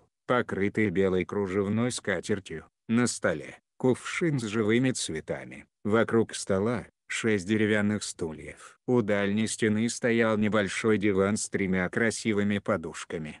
На столике в углу разложена серебряная и медная утварь. Стены увешаны фотографиями, в основном семейными, свадебный портрет хозяев, их дочка в детстве, родители обоих супругов и, кажется, даже их бабушки и дедушки. Впечатление такое, будто обитатели этой квартиры демонстрируют свою родословную, и, судя по всему, они не только знали свои корни, но и гордились ими. Мое внимание привлекли две другие фотографии. На одной Ленин беседует с какими-то людьми, на другой безмятежно попыхивает трубкой Сталин. Невестка Новикова внесла в комнату большой блестящий сосуд. В ответ на недоуменный вопрос одного из моих спутников Новиков засмеялся и сказал, что это самовар, в котором кипятят воду для чая. Если за столом собирается довольно большая компания, хозяйка разожгла угли в самоваре. Потом она вышла и скоро вернулась с блюдцем. Она нем, куски сахара и специальные щипчики. Мне не терпелось познакомиться с новым и странным обычаем, посмотреть, как пьют чай с сахаром русские, и самому попробовать. Хозяйка поставила на стол тарелку с сухим печеньем, достала из буфета семь стаканов, подстаканники и чайные ложки. В каждый из стаканов она положила по ложке, как я узнал позднее, чтобы стакан не лопнул от кипятка. Все было готово для чаепития и хозяйка пригласила нас к столу. То, что я увидел потом, произвело на меня неизгладимое впечатление. У русских принято держать во рту кусочек сахара и пить чай, посасывая его. Это показалось мне вполне разумным. Но наш хозяин не потягивал чай, а пил его большими глотками, как человек, которого мучает жажда. Прежде чем мы успели три или четыре раза поднести стаканы к губам, рискуя обжечься кипятком, он уже допил первый стакан и наполнил его снова. Когда со вторым стаканом было покончено, он что-то сказал дочери. Девушка вышла и вернулась с полотенцем, которое отец повесил себе на шею. Я не мог взять в толк, зачем ему понадобилось полотенце.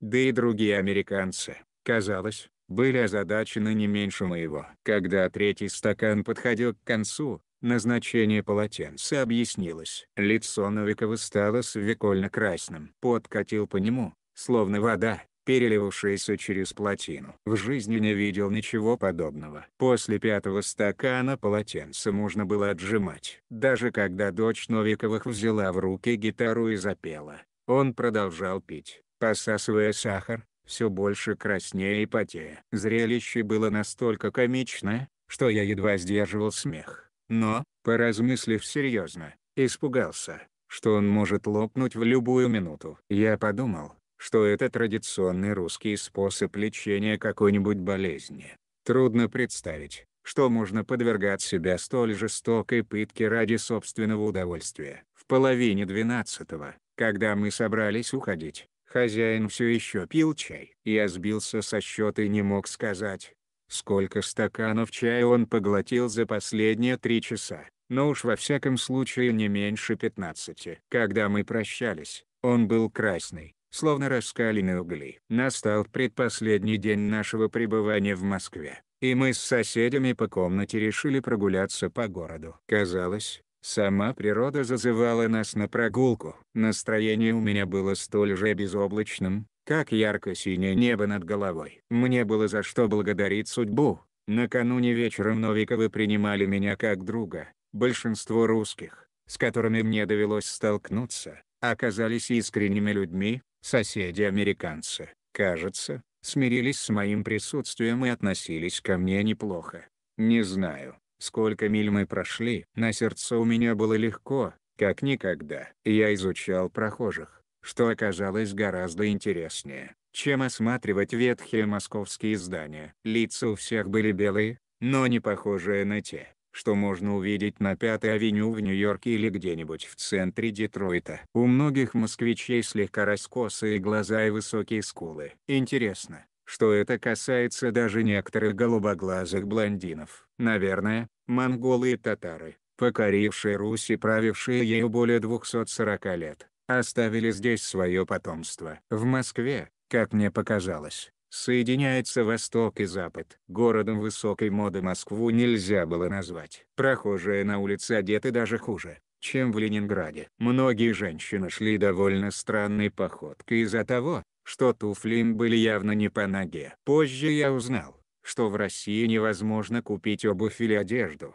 как на Западе. Власти выдают талоны на эти товары, но в магазинах их почти никогда не бывает. Прослышав, что в какой-нибудь магазин завезли туфли, женщины занимают очередь с полуночи, даже если, простояв всю ночь в очереди, Они попадали в магазин сразу после его открытия в 9 утра, успеха это не гарантировало. Там вполне могли оказаться туфли лишь одного, двух или, в лучшем случае, трех размеров. Приходилось покупать то, что было. Женщинам, которых я видел на улицах, скорее всего, достались туфли, которые были малы, и чтобы втиснуть в них ноги, они подкладывали под пятки специальные подушечки. Купить костюм подходящего размера было практически невозможно. Вот почему так много высоких мужчин напоминали юношей, которые за год вытянулись на 6 дюймов. Я даже подумал, что брюки выше щиколотки и пиджаки, не доходившие до талии, это последняя московская мода. Разумеется, дело было не в моде. Как я потом узнал, Хорошо сшитая одежда и опрятная внешность считались признаками капиталистического разложения. Некоторые особенно рьяные патриоты заботились о том, чтобы выглядеть как можно менее привлекательно и аккуратно. Мятые костюмы и платья, одежда не сочетающихся цветов свидетельствовали о глубокой преданности марксизму-ленинизму. Скоро нам предстояло убедиться, что не только мы с любопытством рассматриваем прохожих. За нами тоже наблюдали. Когда мы возвращались в гостиницу, к нам подбежали трое ребятишек. Они что-то тараторили по-русски и таращили на меня глаза. «Дядя!» — воскликнула шестилетняя девочка. «Как это вы так загорели?» Новиков вначале перевел мне вопрос, а потом объяснил детям, что я принадлежу к черной расе. Разумеется, это объяснение не возымело никакого действия. Девочка в восторге подбежала ко мне, схватила мою руку и потерла ее своей ладошкой. Увидев, что ее рука не почернела, она удивилась. «Вы такой черный от того, что не маетесь?» — спросила она самым невинным тоном. «Нет», — объяснил Новиков. Ему было неловко передо мной. Это естественный цвет его кожи. Я уверен, что дети так и не поняли, что хотел им сказать Новиков. Меня это нисколько не смутило. Ведь они были такие простодушные. Они шли за нами до самой гостиницы, болтали, смеялись и разглядывали меня с восхищением и любопытством. Глава 4. Вдоль по Волге. Из Москвы мы, группа американских специалистов, приехали в город Горький, откуда должны были отправиться на пароходе вниз по Волге в Сталинград. Горький – это уменьшенная, грубая копия Москвы с такими же кривыми, вымощенными булыжником улицами и невысокими деревянными домами. Почти на каждом углу возвышается церковь. По назначению церкви больше не используются. В них располагаются конторы, школы или музеи, а нередко они просто стоят заколоченными. Прохожие на улицах лицом и одеждой почти не отличаются от москвичей. Они деловито и быстро куда-то шагают,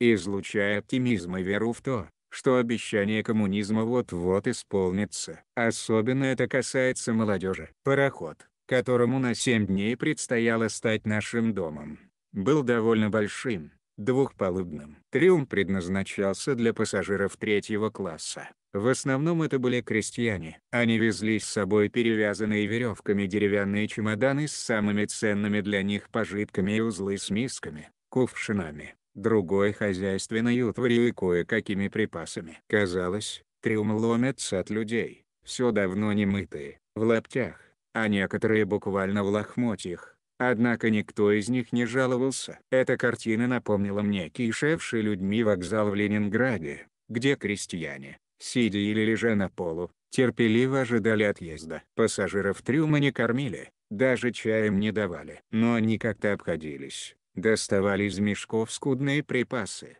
черный хлеб, вяленую рыбу, огурцы, и с удовольствием закусывали. Интересно, знали ли они, каковы условия на верхней палубе? Кроме нас здесь разместили группу представителей интеллигенции и специалистов, в том числе, несколько учителей на каникулах. Каждому из пассажиров полагались отдельная каюта и трехразовое питание. Мы могли проводить время в игровой комнате с бильярдом, шахматами и шашками. На верхней палубе всегда было просторно, главным образом потому, что сюда не допускали пассажиров третьего класса.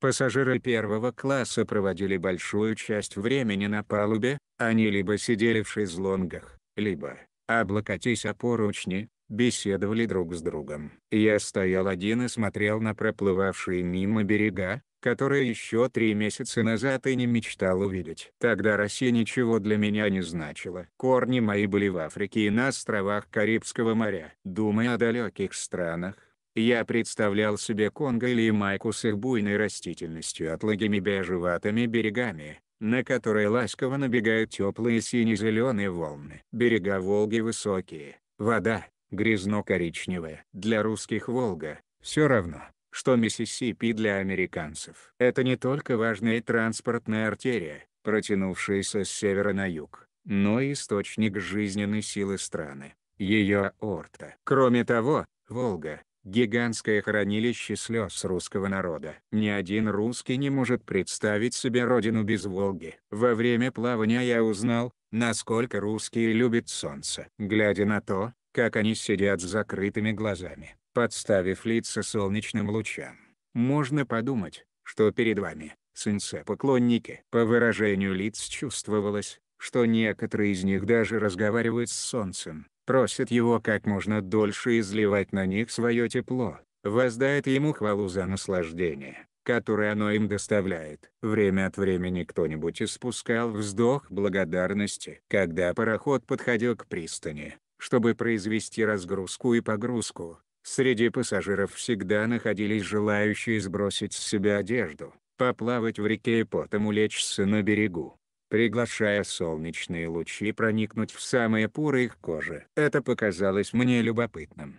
Люди словно пытались запастись солнечной энергией. Но после того как я провел в России свою первую зиму, мне стала понятна и любовь русских к летнему солнцу, и их тоска по солнечному теплу. Среди новых впечатлений, полученных на пароходе, были и гастрономические. За обедом мне впервые довелось отведать борщ и окрошку. Борщ который подают горячим, мне понравился. В него кладут мелко нарезанные кусочки мяса, картофель, капусту, лук, добавляют немного сахара и, уже в тарелку, ложку сметаны. Едят борщ с толстым куском черного хлеба. Это очень вкусно. А крошка, наоборот, вызвала у меня отвращение. Не понравилась она и большинству других американцев. Это густая, зеленоватого цвета смесь из сока особых листьев, помидоров, огурцов, уксуса и соли, в которой плавает половинка сваренного вкрутую яйца. Я съел одну ложку и больше за 44 года в России никогда окрошку не заказывал. Наступил второй вечер нашего плавания. Я стоял на палубе и старался разглядеть в темноте признаки жизни. Все, что мне было видно,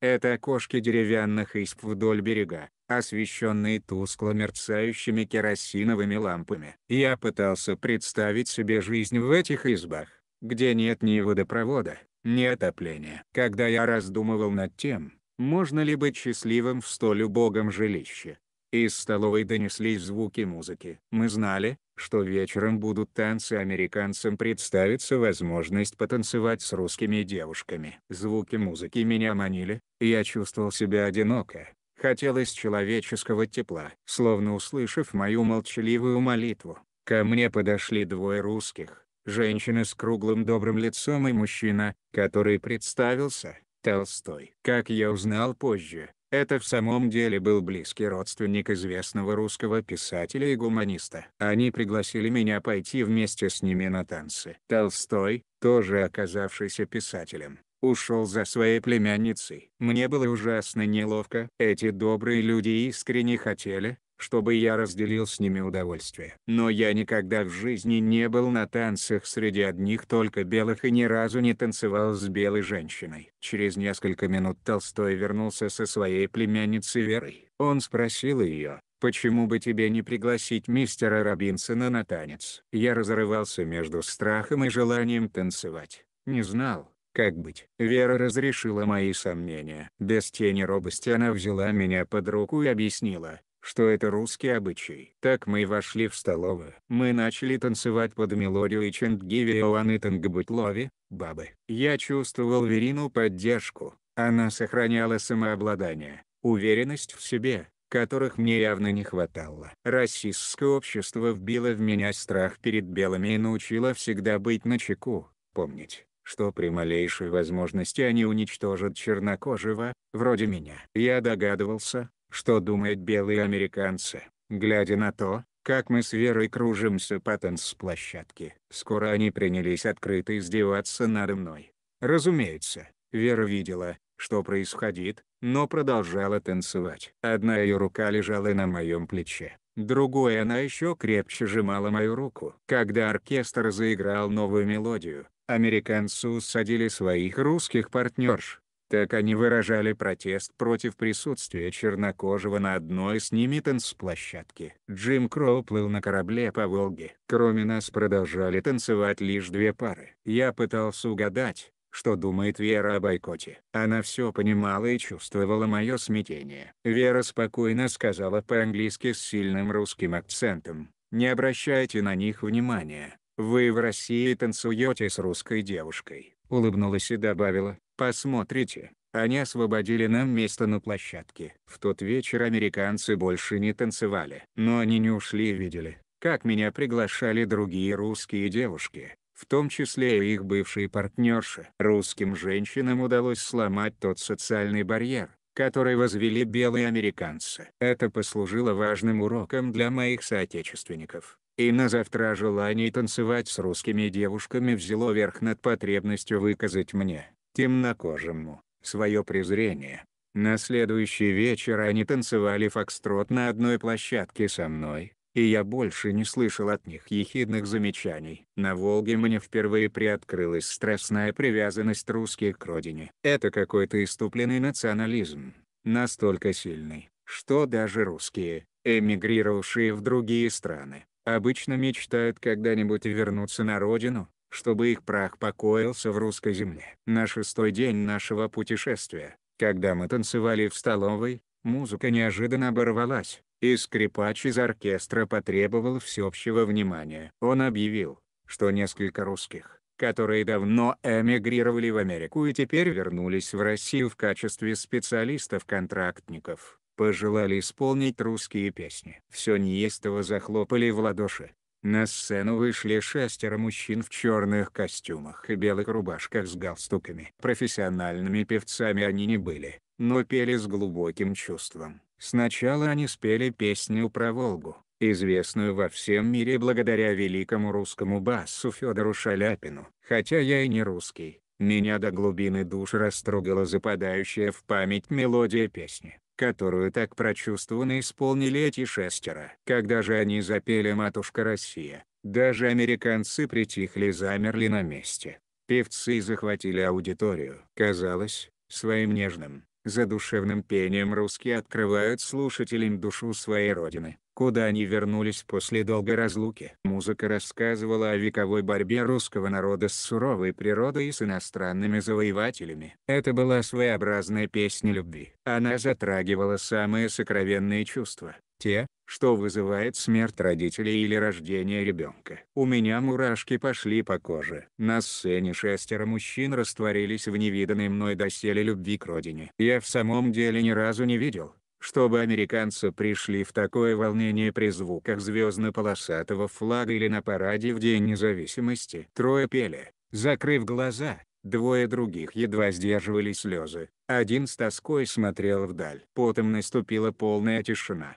Неожиданно один из певцов с мокрым от слез лицом достал из внутреннего кармана пиджака американский паспорт, подбежал к краю палубы, швырнул его в реку и пустился в пляс. В Сталинград, где мне предстояло провести следующий год, мы прибыли 4 июля 1930 года. Этот праздник мои спутники-американцы никак не отметили. На пристани никто нас не встречал. Несмотря на то, что из Горького мы послали телеграмму главному инженеру завода, где нам предстояло работать. Тогда Новиков взял все в свои руки. Он привел нас на остановку трамвая, где уже собралась целая толпа крестьян, увешанных узлами. Многие из них уставились на меня.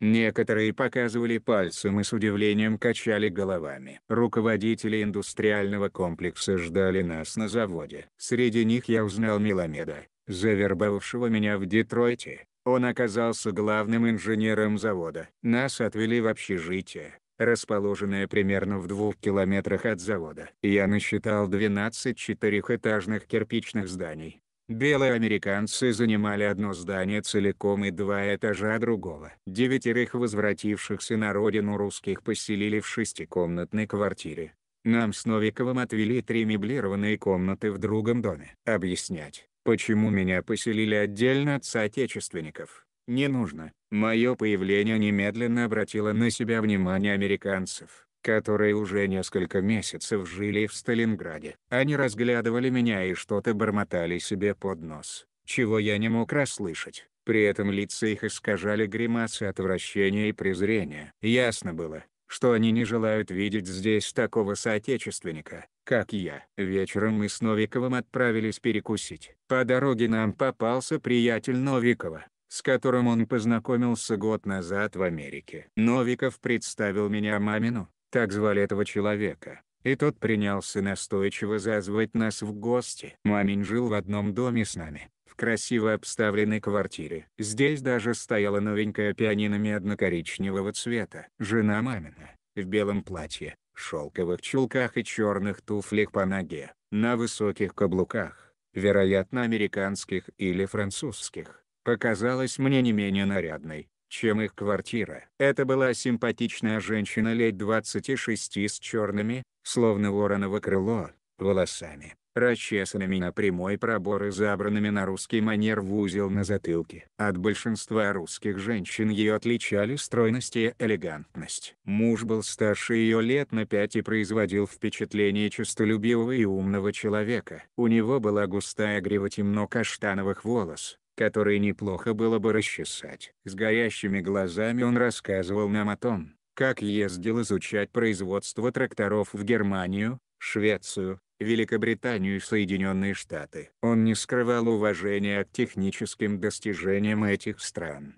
Я почувствовал, хотя сам Мамин этого не сказал, что он уверен в способности Советского Союза перегнать эти страны и готов принять непосредственное участие в достижении этой великой цели. Очевидно, руководство его ценило, поскольку, несмотря на молодость, он уже занимал пост заместителя главного инженера гигантского индустриального комплекса. Комфорт, его окружавший, служил не только наградой за его труд, но и стимулом для новых свершений. В доме был еще один гость, очень редко вступавший в разговор. Молчун по природе, подумал я. На нем была летная форма. И, когда хозяин представлял его нам с Новиковым, он встал. Даже руку мне он пожимал опустив глаза долу и ни на кого не смотрел в те редкие моменты, когда открывал рот. В этом человеке чувствовалось нечто зловещее. Мне было не по себе в его присутствии. В Сталинграде я его больше ни разу не видел. Однако много лет спустя мы встретились в Москве. Несмотря на неловкость, которую я испытывал в присутствии товарища.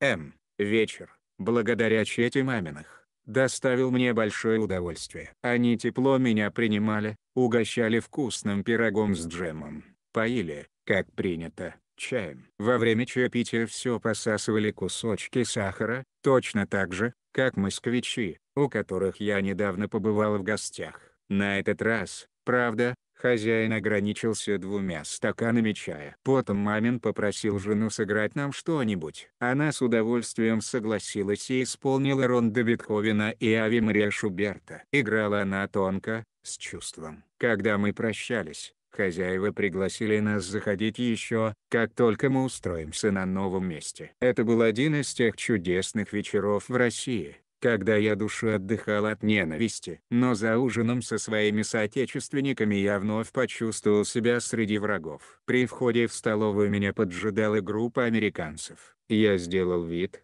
что не заметил их, и сел за стол, стараясь не поднимать глаз от тарелки. Когда же я все-таки поднял глаза, то увидел повсюду искаженные злобой лица. Американцы, не прерывая ужина, принялись меня оскорблять. Вошел Новиков и сел за мой столик. Он тоже почувствовал неладное, расслышал брань в мой адрес и, как и я, сделал вид, что ничего не замечает. Новиков быстро проглотил ужин и объявил, что идет домой. Даже он не мог вынести ненависть американцев. Я же решил оставаться в столовой до тех пор, пока не доем все до последней крошки. Эти расисты не помешают мне делать то, что я хочу. Я доел свой ужин в половине девятого. Как и в Ленинграде, солнце все еще светило, и я решил, что прогулка по берегу Волги – это как раз то, что мне сейчас нужно. На пляже оказалось на удивление многолюдно.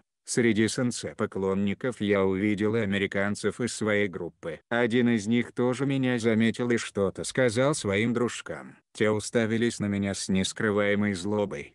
Я отвернулся и пошел вдоль берега. Прошел четверть мили и оказался практически в полном одиночестве. Усевшись на большом камне, я упивался красотой пейзажа. Я вспоминал прошлое, мать, друзей, оставшихся в Детройте, и не мог понять, как я попал сюда, на другой конец света, в город, о котором три месяца назад и слыхом не слыхивал.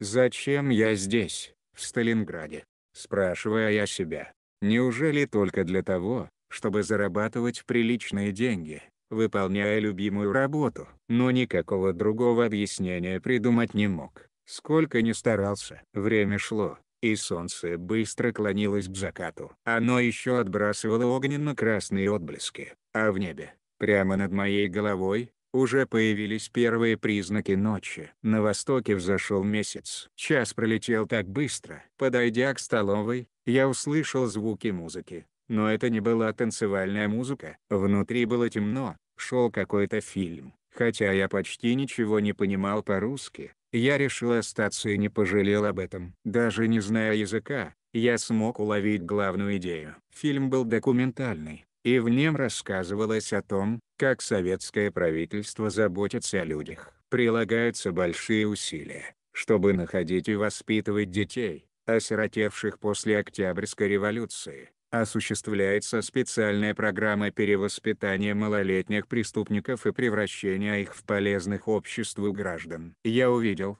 как завшивленных подростков в лохмотьях кормят, одевают и обучают различным профессиям, и меня глубоко тронули эти кадры. Под колонией для бывших беспризорников Большего отвели территорию площадью 18 акров. Как я позднее узнал, Почти все они в конце концов стали полноправными членами общества и пребывание в колонии никак не повлияло на их карьеру. К концу 1935 года некоторые из них заняли высокое положение в различных областях. Я вышел из зала под впечатлением от увиденного, меня поразило, какие усилия прилагает советская власть для улучшения жизни людей. В фильме все казалось подлинным. Разумеется, я знал, что многого в Советском Союзе пока не хватает. Успел заметить, насколько отстает эта страна от Соединенных Штатов. Но дело в том, что советский строй ставил перед собой цель, казавшуюся вполне достижимой. И хотя она еще не была достигнута,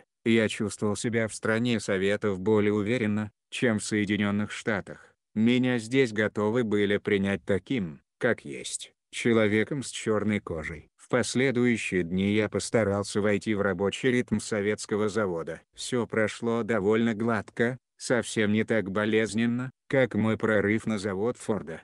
Там я взял за правило не включать станок до тех пор, пока тщательно его не проверю. Помню, придя однажды в цех, я тогда еще недели не проработал у Форда станочником, я увидел, что к моему станку кто-то успел приложить руку до начала смены. Наверняка среди белых станочников были те, кто хотел избавиться от меня любым способом. Они бы только позлорадствовали, если бы я сломал станок, потерял палец или глаз, сломал руку. Однажды в понедельник, внимательно осматривая станок, я обнаружил, что он подсоединен к сети таким образом, что, если бы я не проявил осторожности и включил его, меня бы убило током. Прошло полгода, прежде чем станочники на заводе Форда смирились с моим присутствием. Уверен, что когда я уехал в Россию, никто по этому поводу слезы не проронил. Глава 5. Сталинградский инцидент. Мой третий рабочий день на Сталинградском тракторном прошел хорошо.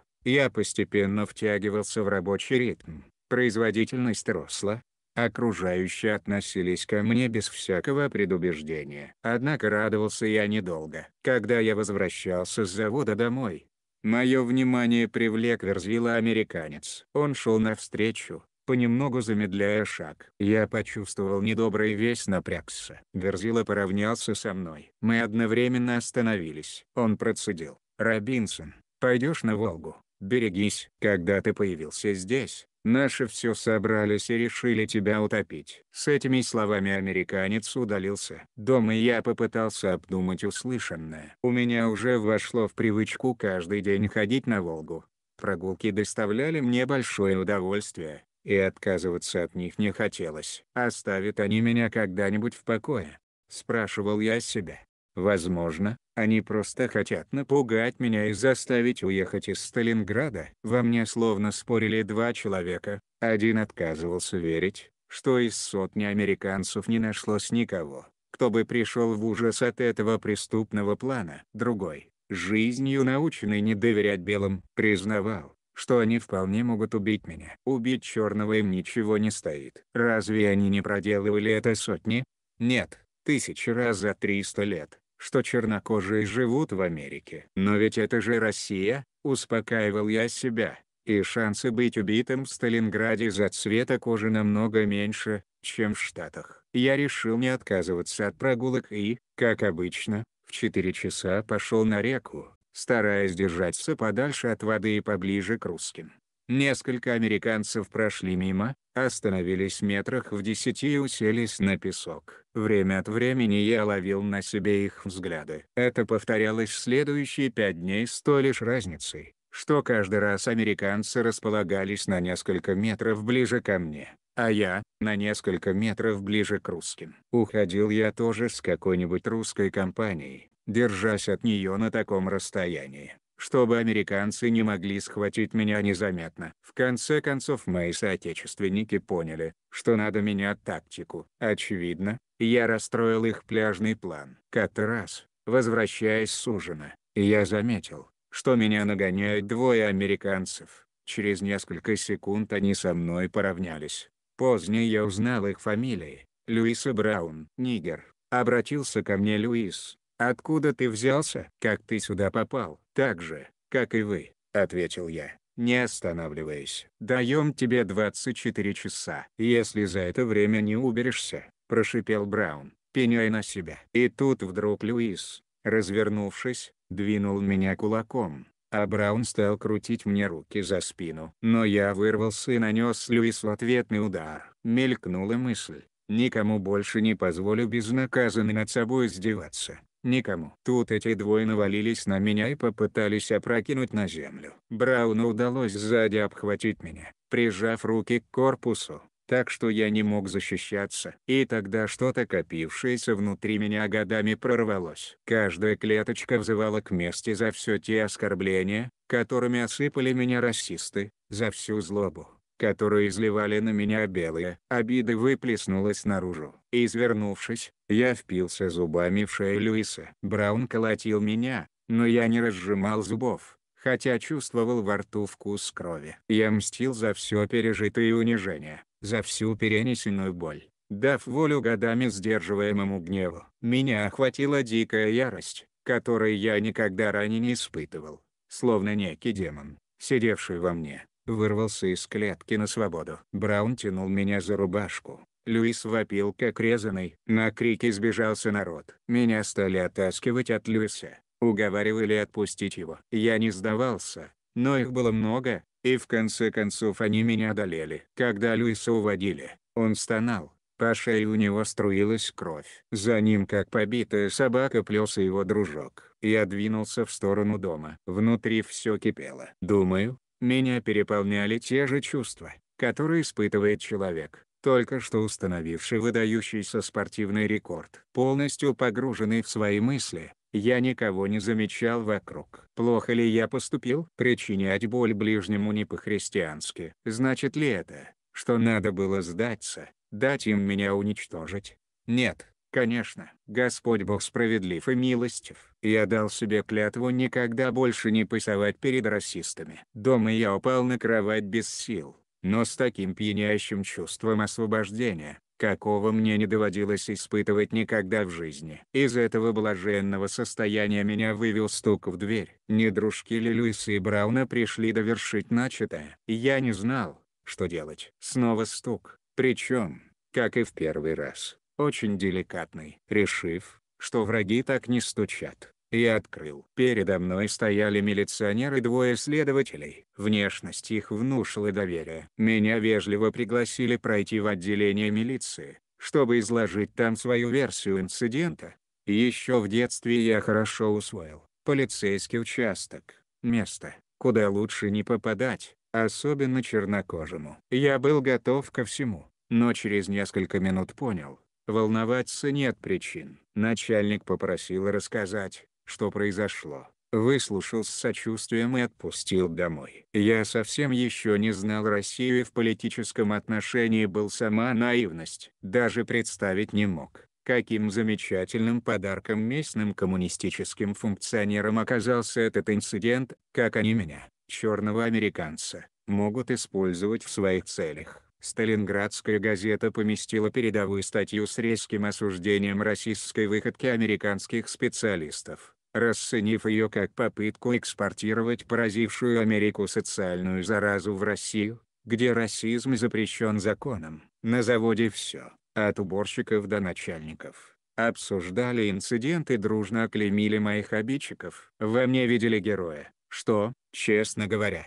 было трудно понять. Голова шла кругом от внимания и лести. Никогда в жизни я не был знаменит, и справиться с известностью оказалось не так просто. Я по природе человек застенчивый, стараюсь избегать всякой публичности и люблю одиночество. Три дня я находился в центре всеобщего внимания. На заводе не было ни одного человека, которого бы оставил равнодушным жестокость моих соотечественников. Через три дня после инцидента на площади перед зданием завода управления состоялся массовый митинг. Тысячи людей, все рабочие завода, мужчины, женщины, многие даже детей привели, внимали пламенным речам ораторов, клемевших язву расизма. Всякий раз, когда выступающий заводил речь о том, какую прогрессивную позицию занимает советское правительство в расовом вопросе. Люди громкими криками выражали свое одобрение. Когда же зачитали резолюцию, призывающую строго наказать напавших на меня американцев, толпа просто взорвалась криками одобрения. Копия резолюции была отправлена телеграфом в Москву и в местные газеты. Странно, думал я.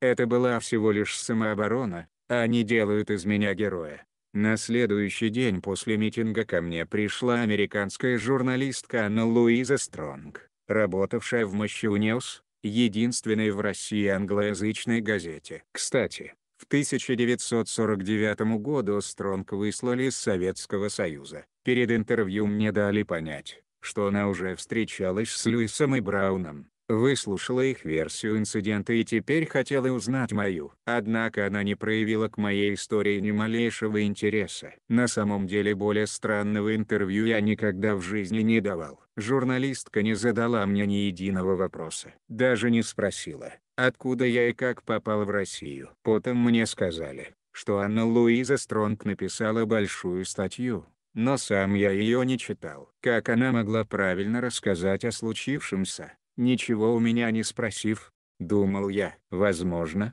всю информацию ей предоставило местное начальство, и ее это устроило. Странный способ доискиваться правды для журналиста. Известность принесла мне новые проблемы. Даже на заводе, где мне больше всего хотелось с головой уйти в работу, ко мне то и дело подходили русские, чтобы выразить поддержку. Как правило, они обходились несколькими английскими словами и энергичной жестикуляцией. При этом все были настолько искренне, что у меня не хватало духу пожаловаться мастеру. Единственной отдушиной оставались вечерние прогулки на реку. Стоило мне отойти от пляжа, как я оказывался почти в полном одиночестве. Эти одинокие прогулки прекратились довольно скоро. После того, как я познакомился с русской женщиной по имени Любовь и ее дочерьми. 16-летней Зои и 18-летней Лидии. Две недели каждый вечер после ужина мы встречались, и они учили меня русскому языку. Наши уроки продолжались вплоть до наступления темноты, когда невозможно уже было ни читать, ни писать. Меня согревало сознание того, что есть люди, которые помогают мне из одной лишь симпатии. Надеюсь, И мое общество тоже доставляло им некоторое удовольствие. Особенно когда я так коверкал русские слова, что девушки с трудом сдерживали смех. Любовь, или Люба, как ее все называли, пригласила меня к ним домой. Двухкомнатная квартира в одном из жилых корпусов завода, очень опрятная, неплохо обставленная, была похожа на все другие, беленые стены, выкрашенной масляной краской половина. В комнате, служившей одновременно гостиной, столовой и спальней, в углу стояла довольно новая швейная машина. На окнах висели кружевные занавески. Здесь я получил очередной урок чаепития по-русски. Я узнал, что полотенце на шее – необязательная принадлежность чайной церемонии. Чай в этом доме разливали по чашкам и каждому на блюдце клали по два кусочка сахара. По привычке я положил сахар в чай и размешал. Любовь же взяла кусочек в рот, а чай налила в блюдце и, поддерживая его снизу пальцами правой руки, поднесла к рту. За беседой она отхлебывала глоток за глотком, причем ни разу не поставила блюдце на стол. Осушив его, она налила новую порцию. Точно так же поступали и дочери. Я же так и не смог полностью овладеть этой техникой но из соображений экономии стал пить чай в прикуску. Мне хватало одного кусочка на две чашки, причем чай оказался гораздо слаще, чем если бы я размешивал сахар. В этом уютном доме я забывал обо всей возне, поднятой вокруг меня после инцидента с Льюисом и Брауном. Мне она порядком надоела. Хотелось поскорее все забыть и целиком отдаться тому, для чего меня пригласили в Россию. Но обстоятельства складывались иначе. Через неделю после стычки с американцами заводское начальство попросило меня снова посетить отделение милиции. Там меня представили адвокату, его помощнику, секретарю и прокурору. «Зачем мне адвокат?» – поинтересовался я.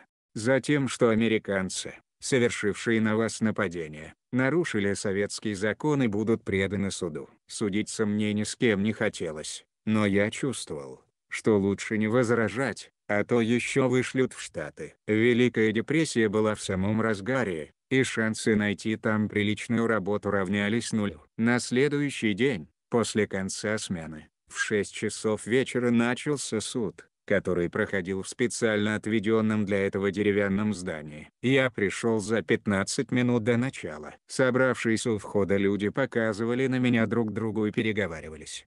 Словно я был знаменитым актером, политиком или героем войны. Один учитель через переводчика попросил меня подойти к группе первоклассшек. Они, мол, хотят выразить свой протест против американского расизма. Пришлось мне, как монарху, обойти шеренгу детей каждому, а их было не меньше 50, пожать руку. Едва я вошел в здание, как меня обступили восторженные молодые люди. Все хотели пожать мне руку. Наконец мне удалось занять свое место в первом ряду. Хорошенькая девушка лет 19-20 уселась рядом. Во время суда она то и дело наклонялась ко мне и с горящими от энтузиазма глазами шептала что-то на непонятном мне русском языке. Несмотря на все попытки объяснить, что я ее не понимаю, она не умолкала. Наконец, увидев, что я нуждаюсь в помощи, ко мне подошел переводчик. Выяснилось, что девушка пытается меня подбодрить, дескать,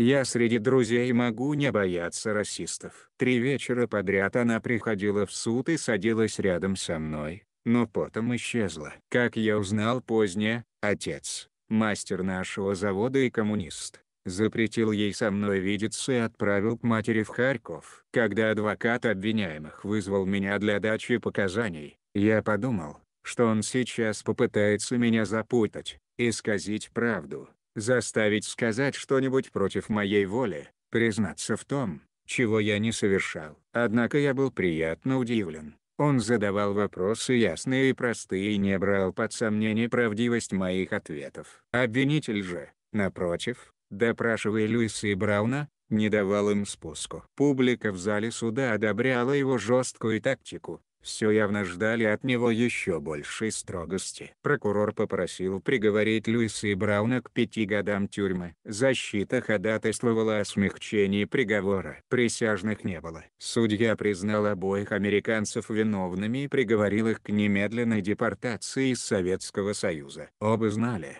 как трудно найти работу в Америке. Ехать туда не хотели и подали апелляцию в Верховный суд. Приговор Льюису оставили в силе, а Брауну позволили доработать год. Когда Браун попросил продлить контракт еще на год, ему отказали. В глазах русских я сделался настоящим героем, олицетворением добра, одержавшего победу над злом. Меня засыпали письмами, они шли со всех уголков страны. И в каждом, выражение поддержки и симпатии. Несколько крупных советских предприятий предложили мне работу. После суда поведение американцев изменилось к лучшему. Кое-кто даже стал со мной здороваться. Правда, трудно сказать, насколько их приветствия были искренни поскольку ими наше общение ограничивалось. Несколько недель спустя мне представился случай приблизиться к разгадке этой тайны. Почему белые американцы так плохо относятся ко мне и вообще к черным? Главный инженер-электрик нашего завода пригласил меня в гости. Когда я вошел в просторную, красиво обставленную гостиную,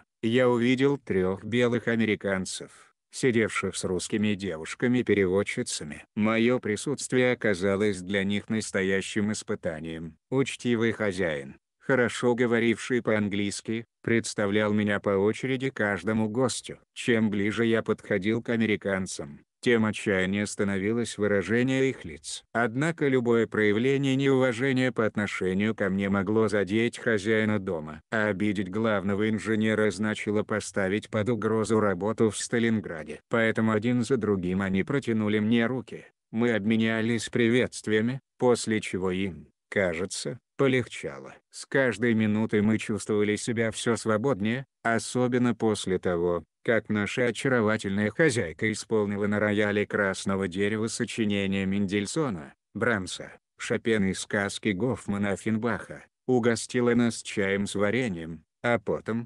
домашними пирожными и сладким вином. Мало-помалу завязался живой разговор. Мы шутили и даже смеялись. Так прошло три часа, и мне показалось, что я начинаю понимать, почему нас, черных, так не любят белые американцы. Они просто нас не знают и не пытаются узнать наши мысли и чувства, а принимают на веру мифы о чернокожих. К концу вечера у меня сложилось впечатление, что трое белых американцев уже не смотрят на меня с подозрением и неприязнью, как это было раньше. Гигантского прогресса в наших отношениях мы не достигли. Но что-то все-таки изменилось. Я подумал, что, возможно, настанет время, когда американцы примут меня в свое сталинградское землячество. Вечером, гуляя по берегу, я поймал себя на том, что больше уже не смотрел с опаской по сторонам, проверяя, не преследует ли меня кто-нибудь. Все было, как прежде,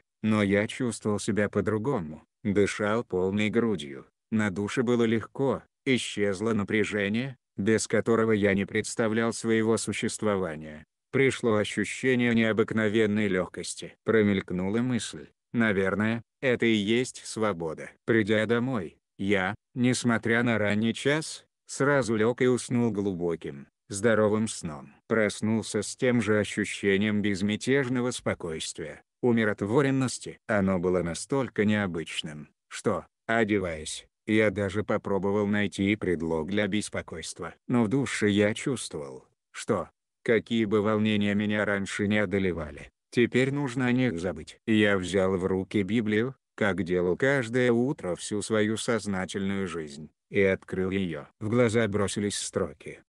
Точка, точка, точка, будьте тверды и мужественны, не бойтесь, не ужасайтесь, и не страшитесь их, ибо Господь Бог твой сам пойдет с тобою и «не отступит от тебя и не оставит тебя». Второзаконие 31 к 6. Я понял смысл этих слов и принял их всем сердцем. Никогда больше не бойся людей, сколько бы их ни было. Иди туда, куда хочешь, делай то, что считаешь нужным. Не бойся никого, кроме Господа. За все время пребывания в Сталинграде никто больше на меня не нападал. Правда, Скоро вера в недавно обретенную мудрость подверглась испытанию. Самые твердолобые из американцев, а таких было немало, не оставили попыток изгнать меня из города. Опыт Льюиса и Брауна научил их, что физическую силу лучше не применять. В конце концов, у них была работа, хороший заработок, и терять это они не хотели. Хуже того, они могли бы оказаться в русской тюрьме. Поэтому они использовали против меня более изощренные средства. Одна из их хитроумных уловок состояла в следующем. Они научили своих русских подружек английским фразам, и те, не зная английского, повторяли их как попугаи. Однажды, направляясь на ужин, я увидел возле столовой четырех американцев с подружками. Русские девушки принялись выкрикивать «Я не люблю грязного негра! Я не люблю грязного негра!» Вся компания расхохоталась. Меня их детская проказа не вывела из себя. Я вошел в столовую, сел за стол и съел свой ужин, стараясь не думать об оскорблении. В тот вечер я сказал себе, никогда больше не бойся, ибо Господь был и остается с тобой. За все годы, проведенные в Советском Союзе, не проходило и дня, чтобы я по крайней мере один раз не повторял этих слов. Глава 6. Я продлеваю контракт. После того как я проработал на Сталинградском тракторном заводе 9 месяцев, меня попросили остаться еще на год. Время пролетело незаметно. Первоначальный контракт истекал через три месяца. Я раздумывал недолго поскольку знал, что для американцев, и особенно чернокожих, настали тяжелые времена. Даже до Сталинграда доходили рассказы о том, как бизнесмены выбрасываются из окон небоскребов, а инженеры торгуют яблоками на улицах. Мать между тем уже перебралась с Кубы в Галлен. Каждый месяц я посылал ей по 150 долларов. Этой суммы тогда вполне хватало на жизнь. Я без колебаний подписал контракт еще на один год. В конце концов, я неплохо зарабатывал. Меня уважали товарищи по работе и ценило начальство. Я многого ждал от следующего года в России. Мне хотелось добиться максимально высокой производительности труда, и я полностью отдался работе. Стать передовым рабочим было важно еще и потому, что это позволяло избежать осложнений социального и политического характера. На советских предприятиях жизнь устроена совсем не так, как на американских. Завод Форда – это место работы.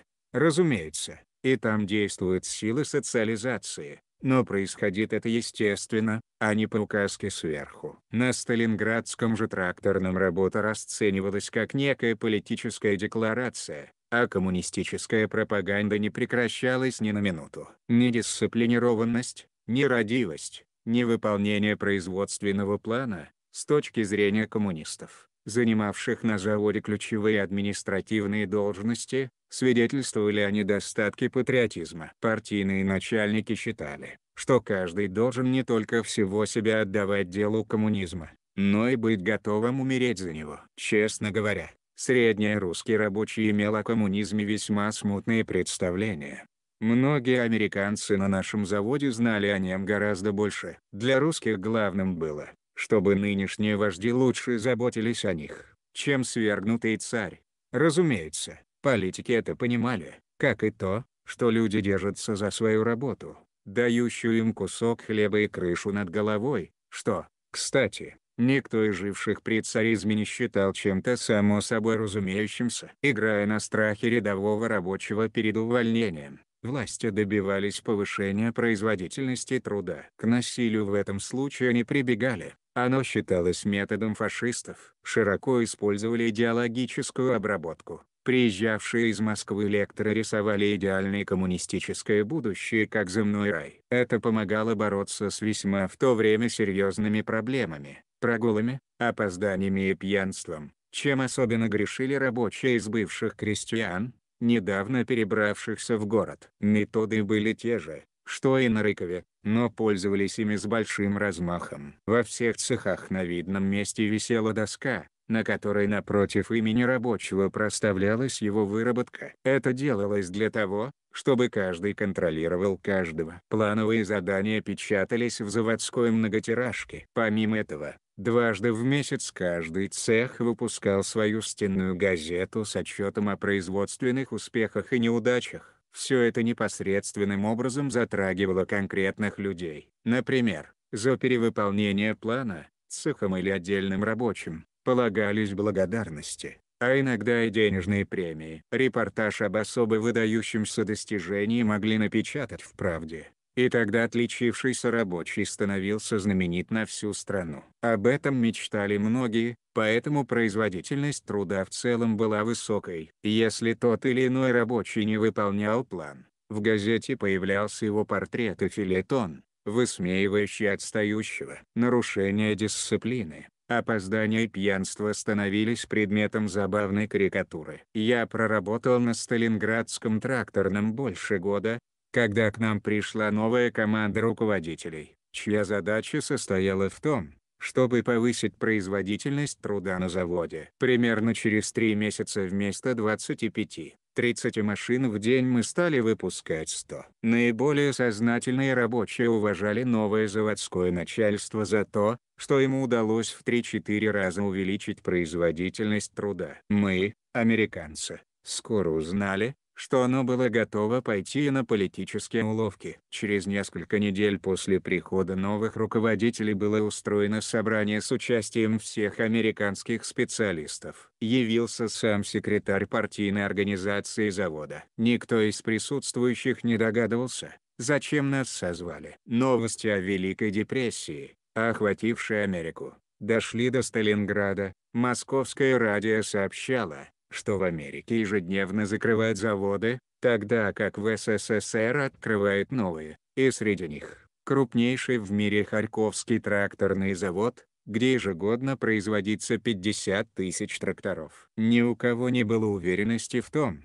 что новая администрация не разорвет заключенные с нами контракты. А вдруг сейчас объявят, что обученные нами русские рабочие вполне способны нас заменить и потому нам пора возвращаться домой. Несколько успокоил такой пассаж в выступлении секретаря. Мои соотечественники и я лично благодарим вас за все, что вы сделали для нашей промышленности. Иностранные специалисты служат прекрасным примером для советских рабочих. Мы узнали, что вклад американцев в индустриализацию Советского Союза оценивали специально созданные для этого комиссии. Цифры, по словам партийного секретаря, оказались впечатляющими. Скоро они будут напечатаны, и тогда о них узнает весь мир. Приятно, когда тебя хвалят, но все же хотелось знать, сохранят ли за нами наши рабочие места. Но как только секретарь приступил к изложению планов руководства относительно нас, стало ясно, мы здесь еще нужны. Правда,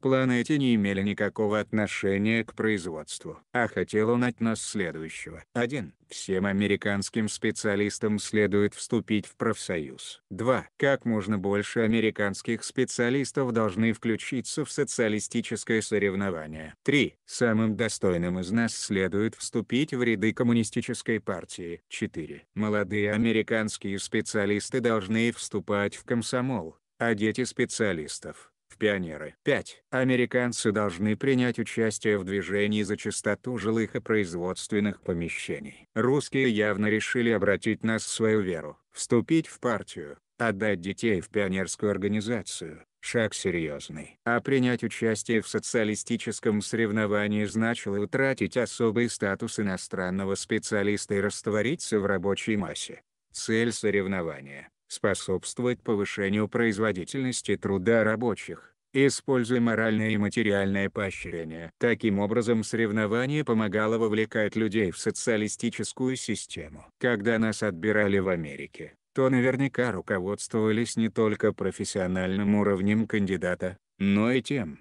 легко ли будет его обратить в коммунистическую веру. Так что многие из нашей группы с симпатией относились к социализму, и предложения секретаря не вызвали возражений. Думаю, и меня пригласили в СССР потому, что решили, уж чернокожий то американец, пожив свободной от расизма стране, легко сменит Библию на капитал Маркса. Если он, конечно, не сумасшедший. Между тем я был именно таким сумасшедшим и не хотел иметь ничего общего с коммунистической партией. Но свои взгляды я, понятно, держал при себе, Никто не знал, что я скорее убью себя, чем откажусь от веры в Бога. Партийный секретарь, призывая американцев вступать в партию, безусловно, имел в виду и меня, тем более что после истории с теми двумя расистами я ходил в героях. Да и заводская газета регулярно писала о моих успехах в работе. Скоро нас с еще одним американцем включили в делегацию, которая должна была представлять наш Сталинградский тракторный на торжествах по поводу ввода в строй ростовского завода сельскохозяйственных машин. Мы поехали в Ростов вместе с 20 другими делегатами от нашего завода. Уже тогда я чувствовал, меня специально обхаживают в надежде когда-нибудь использовать для привлечения чернокожих в ряды американских коммунистов. Хорошо еще, что отчитаться в выполнении поставленных перед нами задач мы должны были к 15-летнему юбилею Октябрьской революции, а я к тому времени надеялся уже вернуться домой в Америку, поскольку мой контракт истекал в июне. Кроме того, я мог перехитрить их, объяснив, что столь серьезный поступок, как вступление в партию, требует времени. Я надеялся, что даже если я и откажусь вступать в партию, Домой меня не вышлют из боязни, что Советский Союз обвинят в расизме. Самой правильной тактикой было продолжать работать как можно лучше и не привлекать к себе внимания. В конце июня 1932 года мой контракт истек, и я поехал в Москву покупать обратный билет в Соединенные Штаты. Там мне предстояло обратиться в организацию под названием ВАТА. Всесоюзное объединение автотракторной промышленности СССР, и получить обратный билет. Поскольку последнее время в Сталинграде я не чувствовал на себе политического давления и был вполне удовлетворен работой, уверенности в том, что мне нужно срочно уезжать, у меня поубавилось. Два дня я раздумывал, оставаться ли мне в Советском Союзе, среди людей, которые никогда не смогут доверять мне, иностранцу да еще и рисковать быть втянутым в паутину советской системы, или же вернуться в Америку, где мне грозила безработица. Я приехал в Россию на год, а прожил два, увидел много такого, что поразило меня и расширило мой кругозор. И все-таки, решил я, пора домой. Вата-чиновник несколько минут изучал мои бумаги, а потом сказал, что первому московскому шарикоподшипниковому заводу, запущенному три месяца назад, как раз нужны специалисты моей квалификации. Он предложил немедленно туда отправиться, чтобы переговорить с директором Бодровым. В мое распоряжение предоставили машину с шофером, и через 15 минут мы уже въезжали в заводские ворота. Директор, мужчина среднего роста и приятной наружности, принял меня с распростертыми объятиями. Он долго восхищался моими профессиональными достижениями, говорил, что ему нужен именно такой специалист и сходу предложил подписать годовой контракт. Я принял его предложение, не задумываясь. Иностранные специалисты, работавшие на первом шарике под Шипниковым, жили в двух пятиэтажных кирпичных домах. Кого только там не было. Немцы, англичане, американцы, шведы, французы, румыны, австрийцы, венгры, словаки, поляки и итальянцы более 300 человек, многие с семьями. Поскольку я был холост, мне предоставили комнату в двухкомнатной квартире. Я устроился и на следующий день вышел на работу. Меня назначили на калибровочный участок,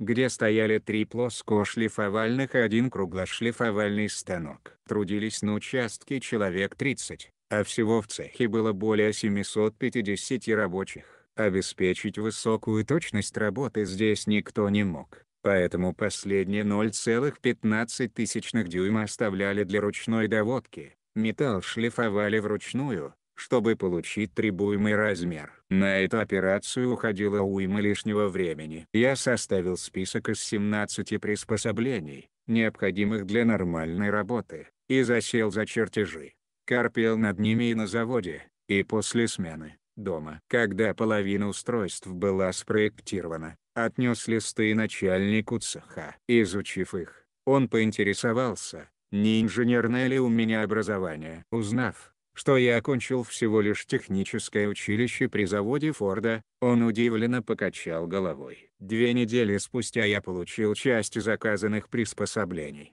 Мне дали шестерых учеников, по трое на смену. Они обрабатывали детали начерно, а я потом доводил их до нужных размеров. За полтора месяца мы добились того, что на ручную притирку оставалось только 0,2 мм, против прежних 0,2-0,3. Окончательную доводку рабочий теперь производил всего за 25 минут вместо 5-6 часов. Еще через два месяца в 80% случаев доводку уже вовсе не требовалось, производительность выросла в 7 раз. Когда на завод пришел станок, позволявший шлифовать криволинейные поверхности, работать на нем поручили мне. В помощь я получил еще двух учеников и, таким образом, под моим началом оказалось 8 человек. Приходилось чуть не каждый день работать по две смены, поскольку ученикам не хватало опыта и в мое отсутствие они допускали брак. Я начинал в 7.30 и практически без перерыва трудился до 10-11 часов вечера. Единственной наградой за 4 года в две смены по 16 часов в день, вместо положенных семи с половиной, была путевка в Крым на 24 дня стоимостью 800 рублей. За 1250 сверхурочных рабочих дней мне ничего не заплатили. И все же надо признать, что 1932 и первая половина 1933 года сложились для меня удачно. В профессиональном отношении я за этот период сильно вырос. Все больше рабочих на нашем заводе понимали опасность германского милитаризма после прихода к власти Гитлера 30 января 1933 года. Многие из моих друзей и товарищей по работе чувствовали угрозу, нависшую над миром и особенно над Россией. Я продолжал работать по 16 часов в день приобрел опыт инструментальщика и по-прежнему держался в стороне от политики. Цех был моей лабораторией, где я мог придумывать и создавать механизмы. Благодаря им производительность на нашем участке была самой высокой на заводе. Все это, а также уважение, которым я пользовался у рабочих, особенно русских, не могло не радовать меня. Но главное, от чего я получал удовлетворение, это возможность самому ставить задачу и затем находить ее решение. Для меня работать на шарика под Шипниковым было все равно, что играть в любимую игру и еще получать за это деньги. Учитывая мои успехи в труде,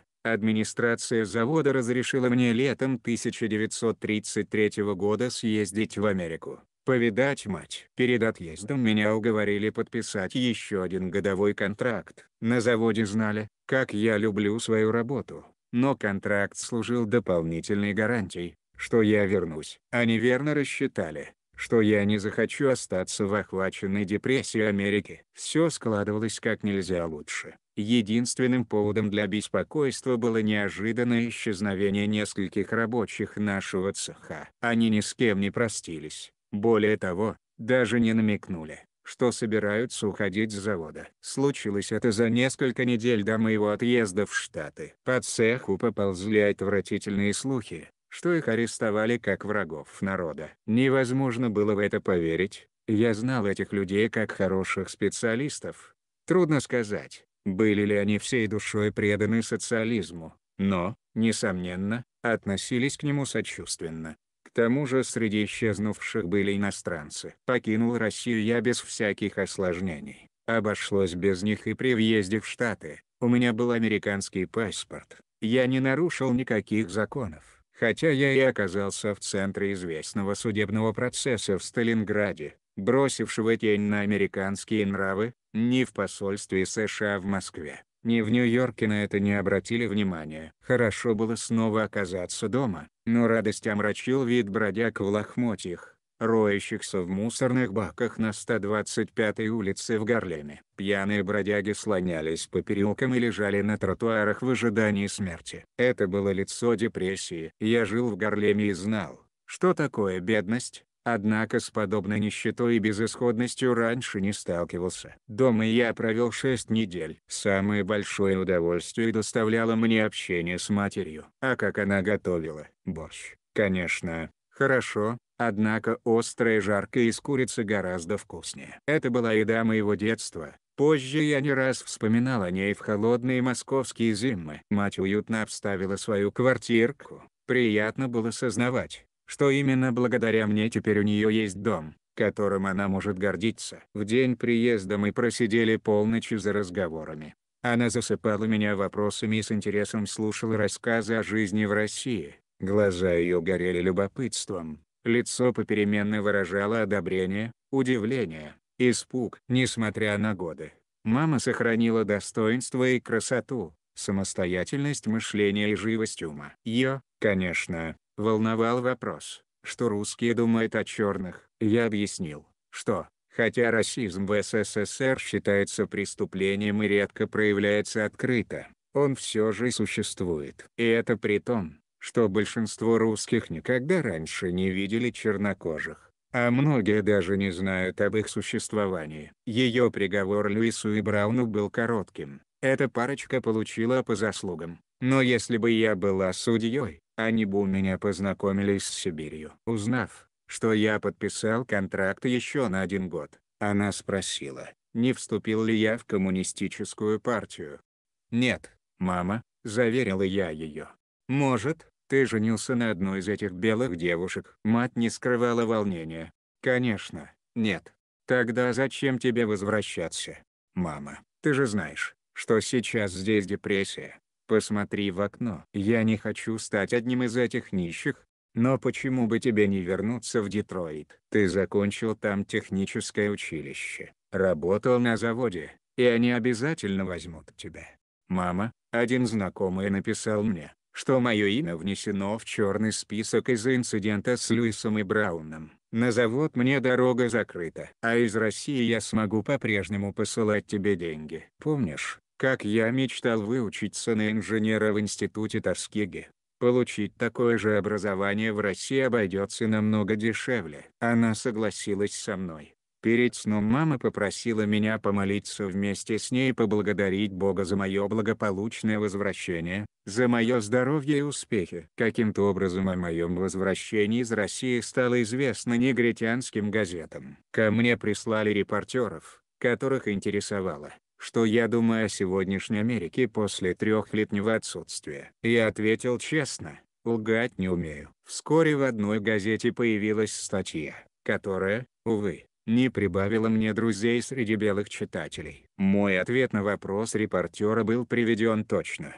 Едва я оказался на 125-й улице, желание поскорее вернуться в Америку испарилось. Я почувствовал себя так, словно меня окутал и поглотил мрак. Отчаявшиеся, безразличные люди, которых я увидел, так не похожи на полных сил, энтузиазма и веры в завтрашний день советских рабочих. С моим приездом квартира матери, словно магнит, стала притягивать старых друзей из Гарлема и даже из Детройта. Они наперебой расспрашивали меня о жизни в Советском Союзе. Мы засиживались далеко за полночь, услышав, что в России нет безработицы. Кое-кто даже захотел последовать моему примеру и поехать в СССР. Я всех предупреждал, что уровень жизни там значительно ниже, чем в Америке что во многих домах отсутствует водопровод и канализация. Тем не менее один молодой врач, видно, воодушевленный моими рассказами, всерьез заинтересовался,